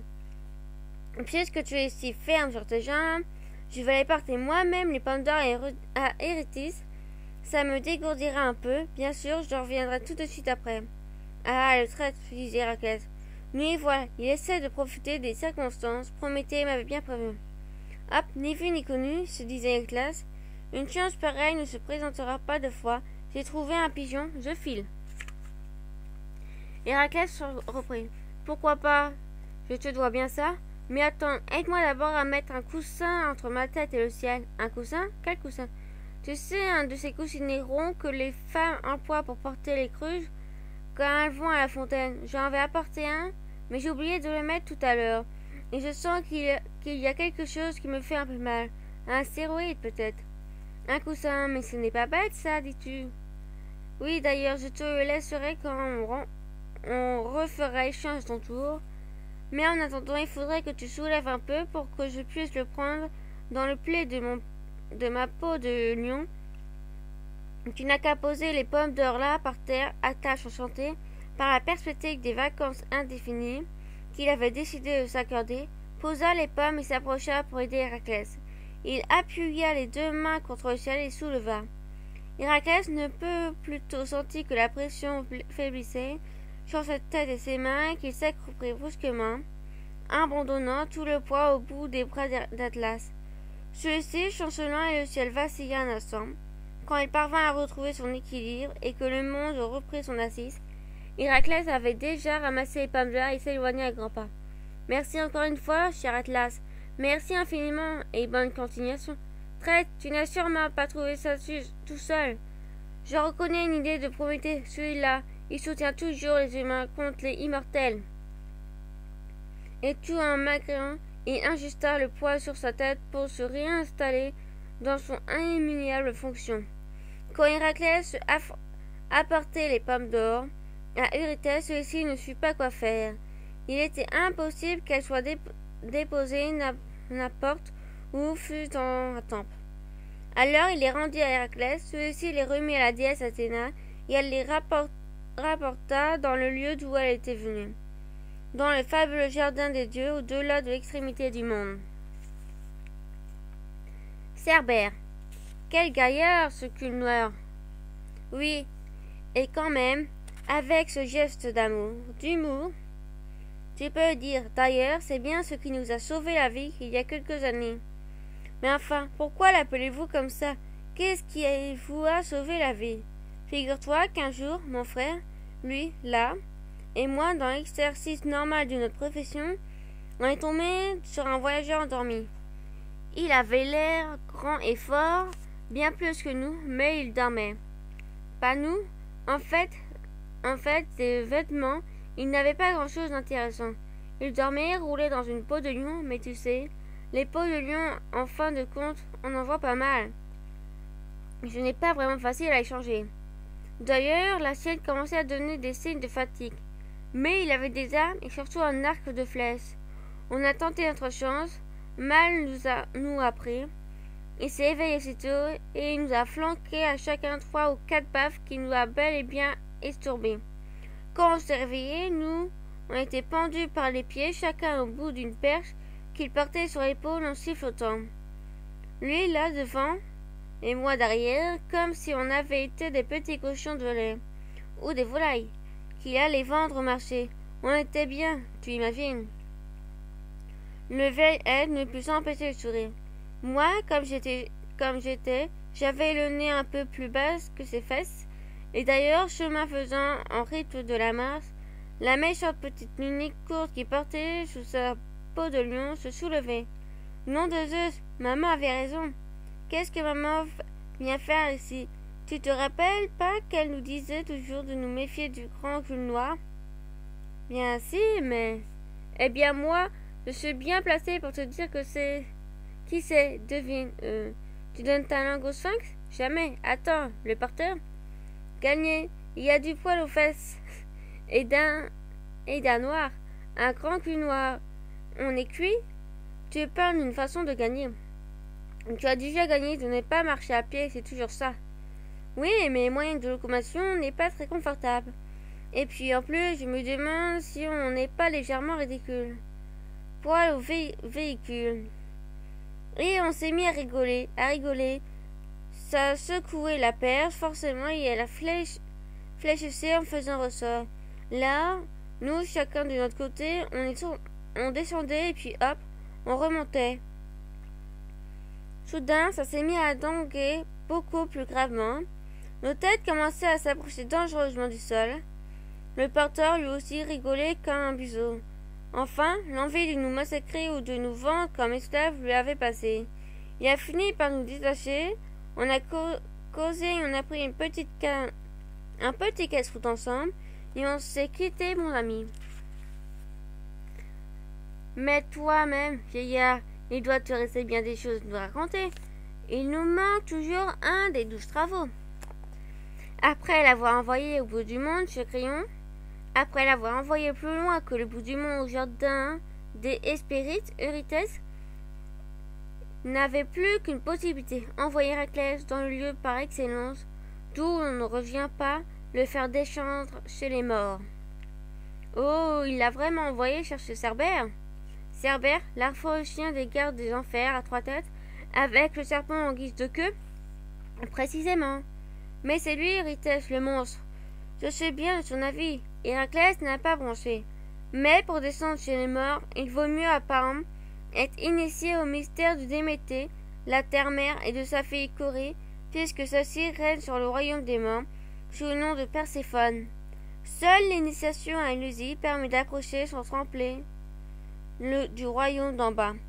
Héraclès gagna donc Élysée en territoire atérien, car c'est là, comme vous savez, que les dieux déesses ont leur principal sanctuaire. Mais il fallait d'abord être athénien. Il se fait adopter par Ulyssinian, nommé Eumolpos, qui était aussi une des prêtres du sanctuaire. Puis il reçut une initiation. Ça, jeunes gens, je ne peux rien vous en dire. Elle secrète. Tous les initiés jurent par le serment le plus terrible de ne rien raconter des cérémonies auxquelles ils ont assisté. Enfin, il se mit en chemin par la caverne du Cap Ténard, à l'extrême sud de Polyphoné, et s'enfonça dans les profondeurs de la terre. Les âmes des morts, terrifiées par son arrivée, s'enfuirent devant lui, sauf celle de la monstre Gorgone et du héros Maléandre. Héraclès bonda son arc, mais Maléax l'arrêta. Ne dépense pas tes flèches en vain contre des ombres, car nous ne sommes plus rien d'autre, et tu n'as rien à redouter des vains fantôme comme nous. Qu'es-tu donc, toi qui n'es pas fui devant moi, mais qui me parle avec douceur étrange pour ces lieux Comme toi, j'ai chassé jadis, moi aussi un sanglier redoutable, et je l'avais vaincu. Mais sa mort a scellé mon destin. Je l'ai suivi de près, maintenant me voilà. Je ne sais plus qu'une ombre inconsistante. Ah Les générations d'hommes sont comme des feuilles des arbres. Elles passent aussi vite qu'elles. Tu l'as dit, et le mieux pour les mortels serait de ne pas naître, de ne jamais voir le jour. Mais il en va aussi de pleurer là-dessus. Ce que l'on s'apprête à faire, voilà tout ce qui compte. Toi, je vois qu'aussi bien mort que vivant, tu es un grand héros. Si tu n'as pas eu peur ni de moi ni du monstre que tu as chassé, j'aurais aimé être ton ami à la surface de la terre. Mais peut-être que tu as au palais de ton père une sœur qui te ressemble, si tu es son époux, quelque chose au défaut. Une amitié de vivant pourrait quand même nous, nous unir. Il y a des génies à la nuque élancée qui m'a encore connu l'amour. Quand il quittait le héros Méléa, Héraclès rencontra deux autres héros, Thésée l'Athénien et Péritophe le Lépi. Descendu avant lui aux enfers, il était pris au piège. Il est vrai qu'il était venu pour une raison plus louable.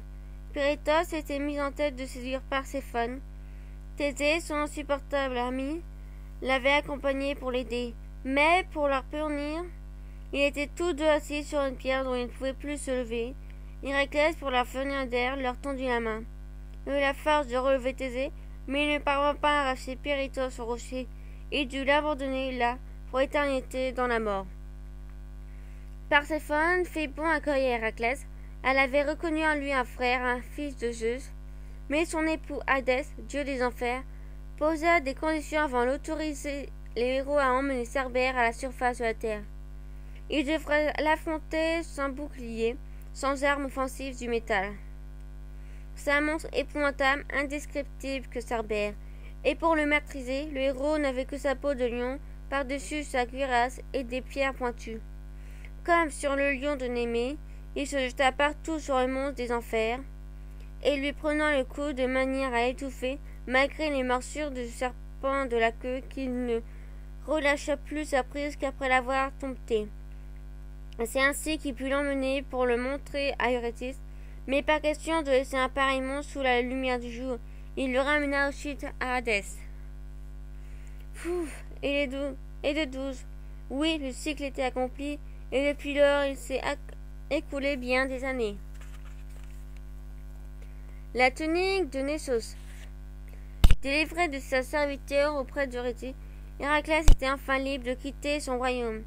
Après bien d'autres aventures, et comme il en avait fait la promesse au Romain qu'il avait rencontré aux enfers, il se rendit à Étoilé dans la patrie de celui-ci pour épouser sa sœur Déjeuner.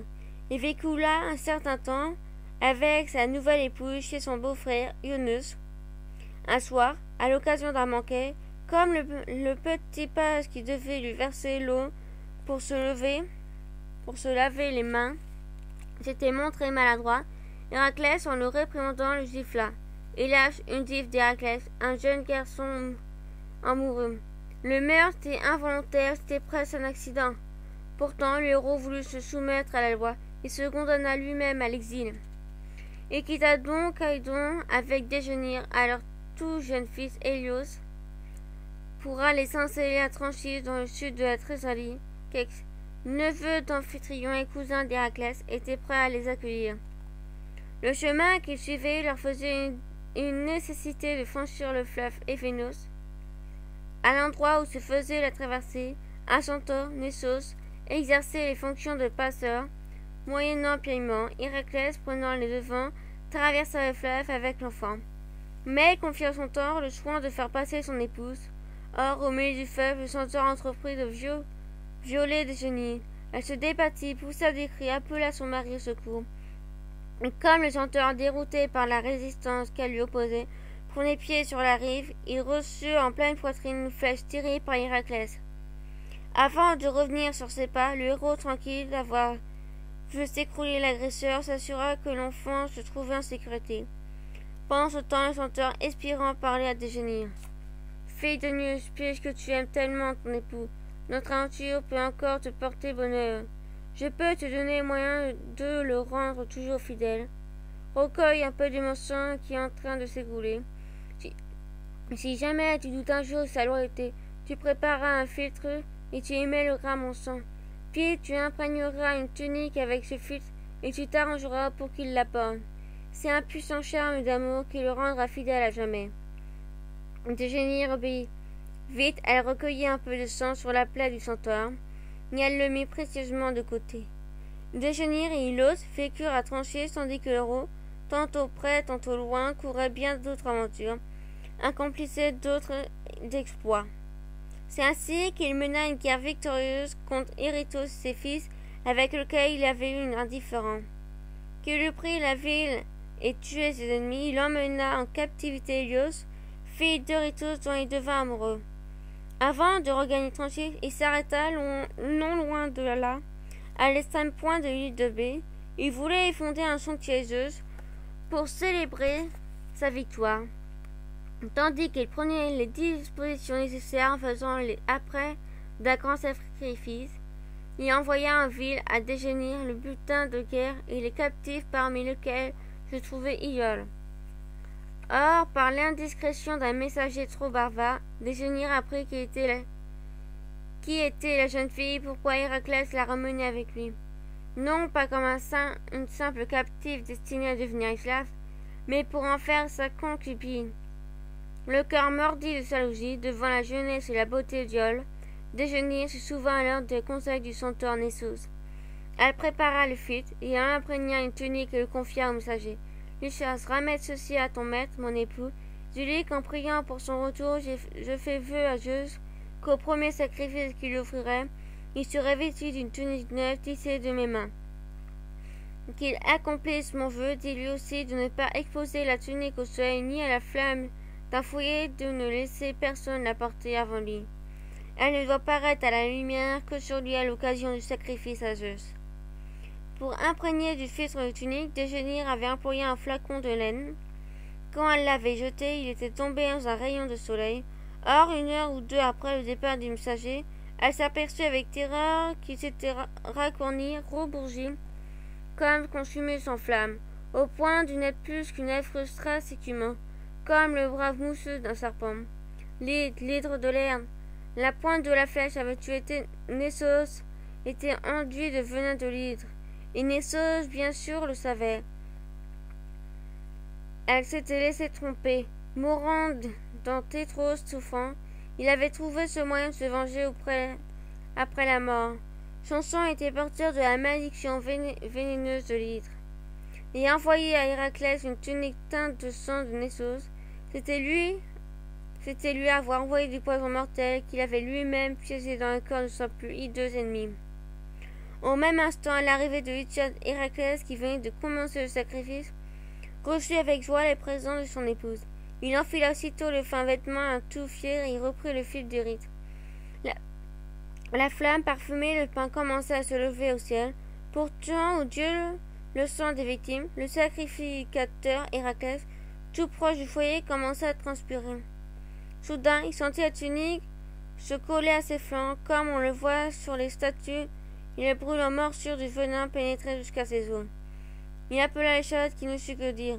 Seigneur, tout, j'ai tout apporté la présence telle que je l'ai reçue. Les poumons transportés d'une atroce douleur, Héraclès le saisit par un pied et le faisait tournoyer, il l'envoya s'écraser contre un rocher parmi les vagues. Il aperçut Ilios, son fils, celui-ci arrivait à l'instant même de Tranchille. Il apportait d'affreuses nouvelles. Le désespoir, sa mère déjeunir, venait se poignarder après avoir expliqué la ruse du centaure. Nessos, alors, sont effets de moi. Les oracles se regroupent.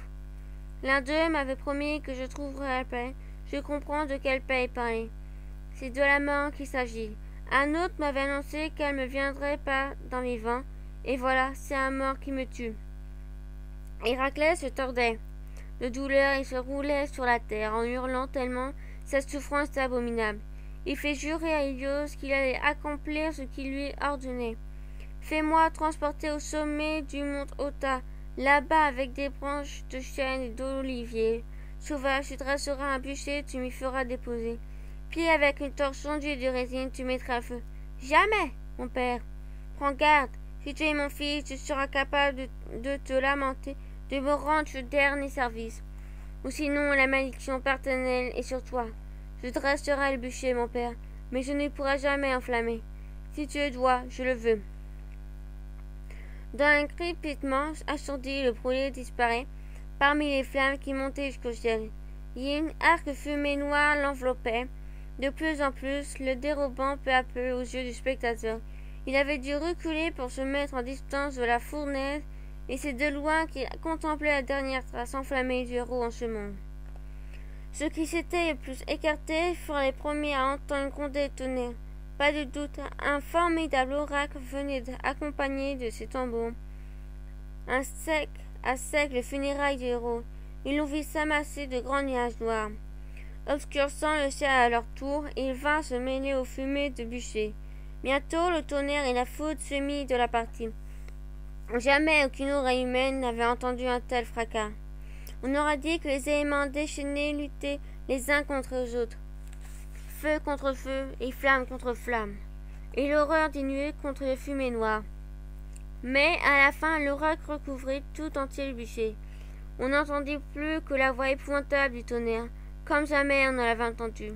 Les assistants étaient pénétrifiés, pétrifiés, nul ne pouvait douter. Là-dessus, quelqu'un parlait. Mais il n'était pas seul à l'œuvre. Au plus fort de la foule, nous avions tous cessé de voir ce qui nous environnait. Quand les silences revinrent, quand reparut aux yeux de tous la lumière éclatante du jour, moi, je restais dans les ténèbres. À attendre, tout le monde s'étonnait, plus de feu crépitant, ni flamme, ni fumée. Je compris ce qui m'arrivait, je poussai un cri. Seigneur, voix oblique, Apollon, tu es donc là, toi aussi. La main du dieu préspétit de Delphes était posée sur moi depuis longtemps, puisque c'est lui qui donne la parole à l'aide. Mais elle venait de se faire brusquement plus lourde à mon épaule. Il me rendit aveugle pour me faire voyant. Autour de moi, j'entendais s'exprimer stupéfaction, le reste calciné du bûcher témoignait. Seul de ce qui s'était passé, mais quoi? Il était froid, et quand on voulut recueillir suivant la coutume et sang du héros, pour les ensevelir dans une boîte d'or, on ne trouva plus rien, rien. Aucun reste du corps, aucun reste des armes, rien. Or, au milieu de l'agitation renaissante dans le brouhaha, qui gagnait, une force irrésistible s'emparait de mon cœur et m'obligeait à parler. Pourquoi chercher parmi les morts celui qui est parmi les dieux? On se retourna vers moi. Qu'est-ce que tu racontes? Viens plutôt nous aider à retourner les cendres plus profondes. Incrédule, pourquoi avez-vous tremblé à entendre rouler le chien de jeu au-dessus de vos têtes Vous avez fermé les yeux devant l'éclat de sa foudre, et vous imaginez qu'il ne s'est rien passé? Zeus est venu prendre son fils pour l'emmener dans l'Olympe. Je vous le dis, Héraclès est un dieu désormais parmi les dieux. Héra, enfin réconcilié avec lui, va lui donner pour épouse sa fille jeune, jeune éternelle. Par la bouche de pitié, faux bon le lui avait promis, et voilà qu'à mon tour il s'est emparé de ma voix pour vous le dire. Épilogue. Le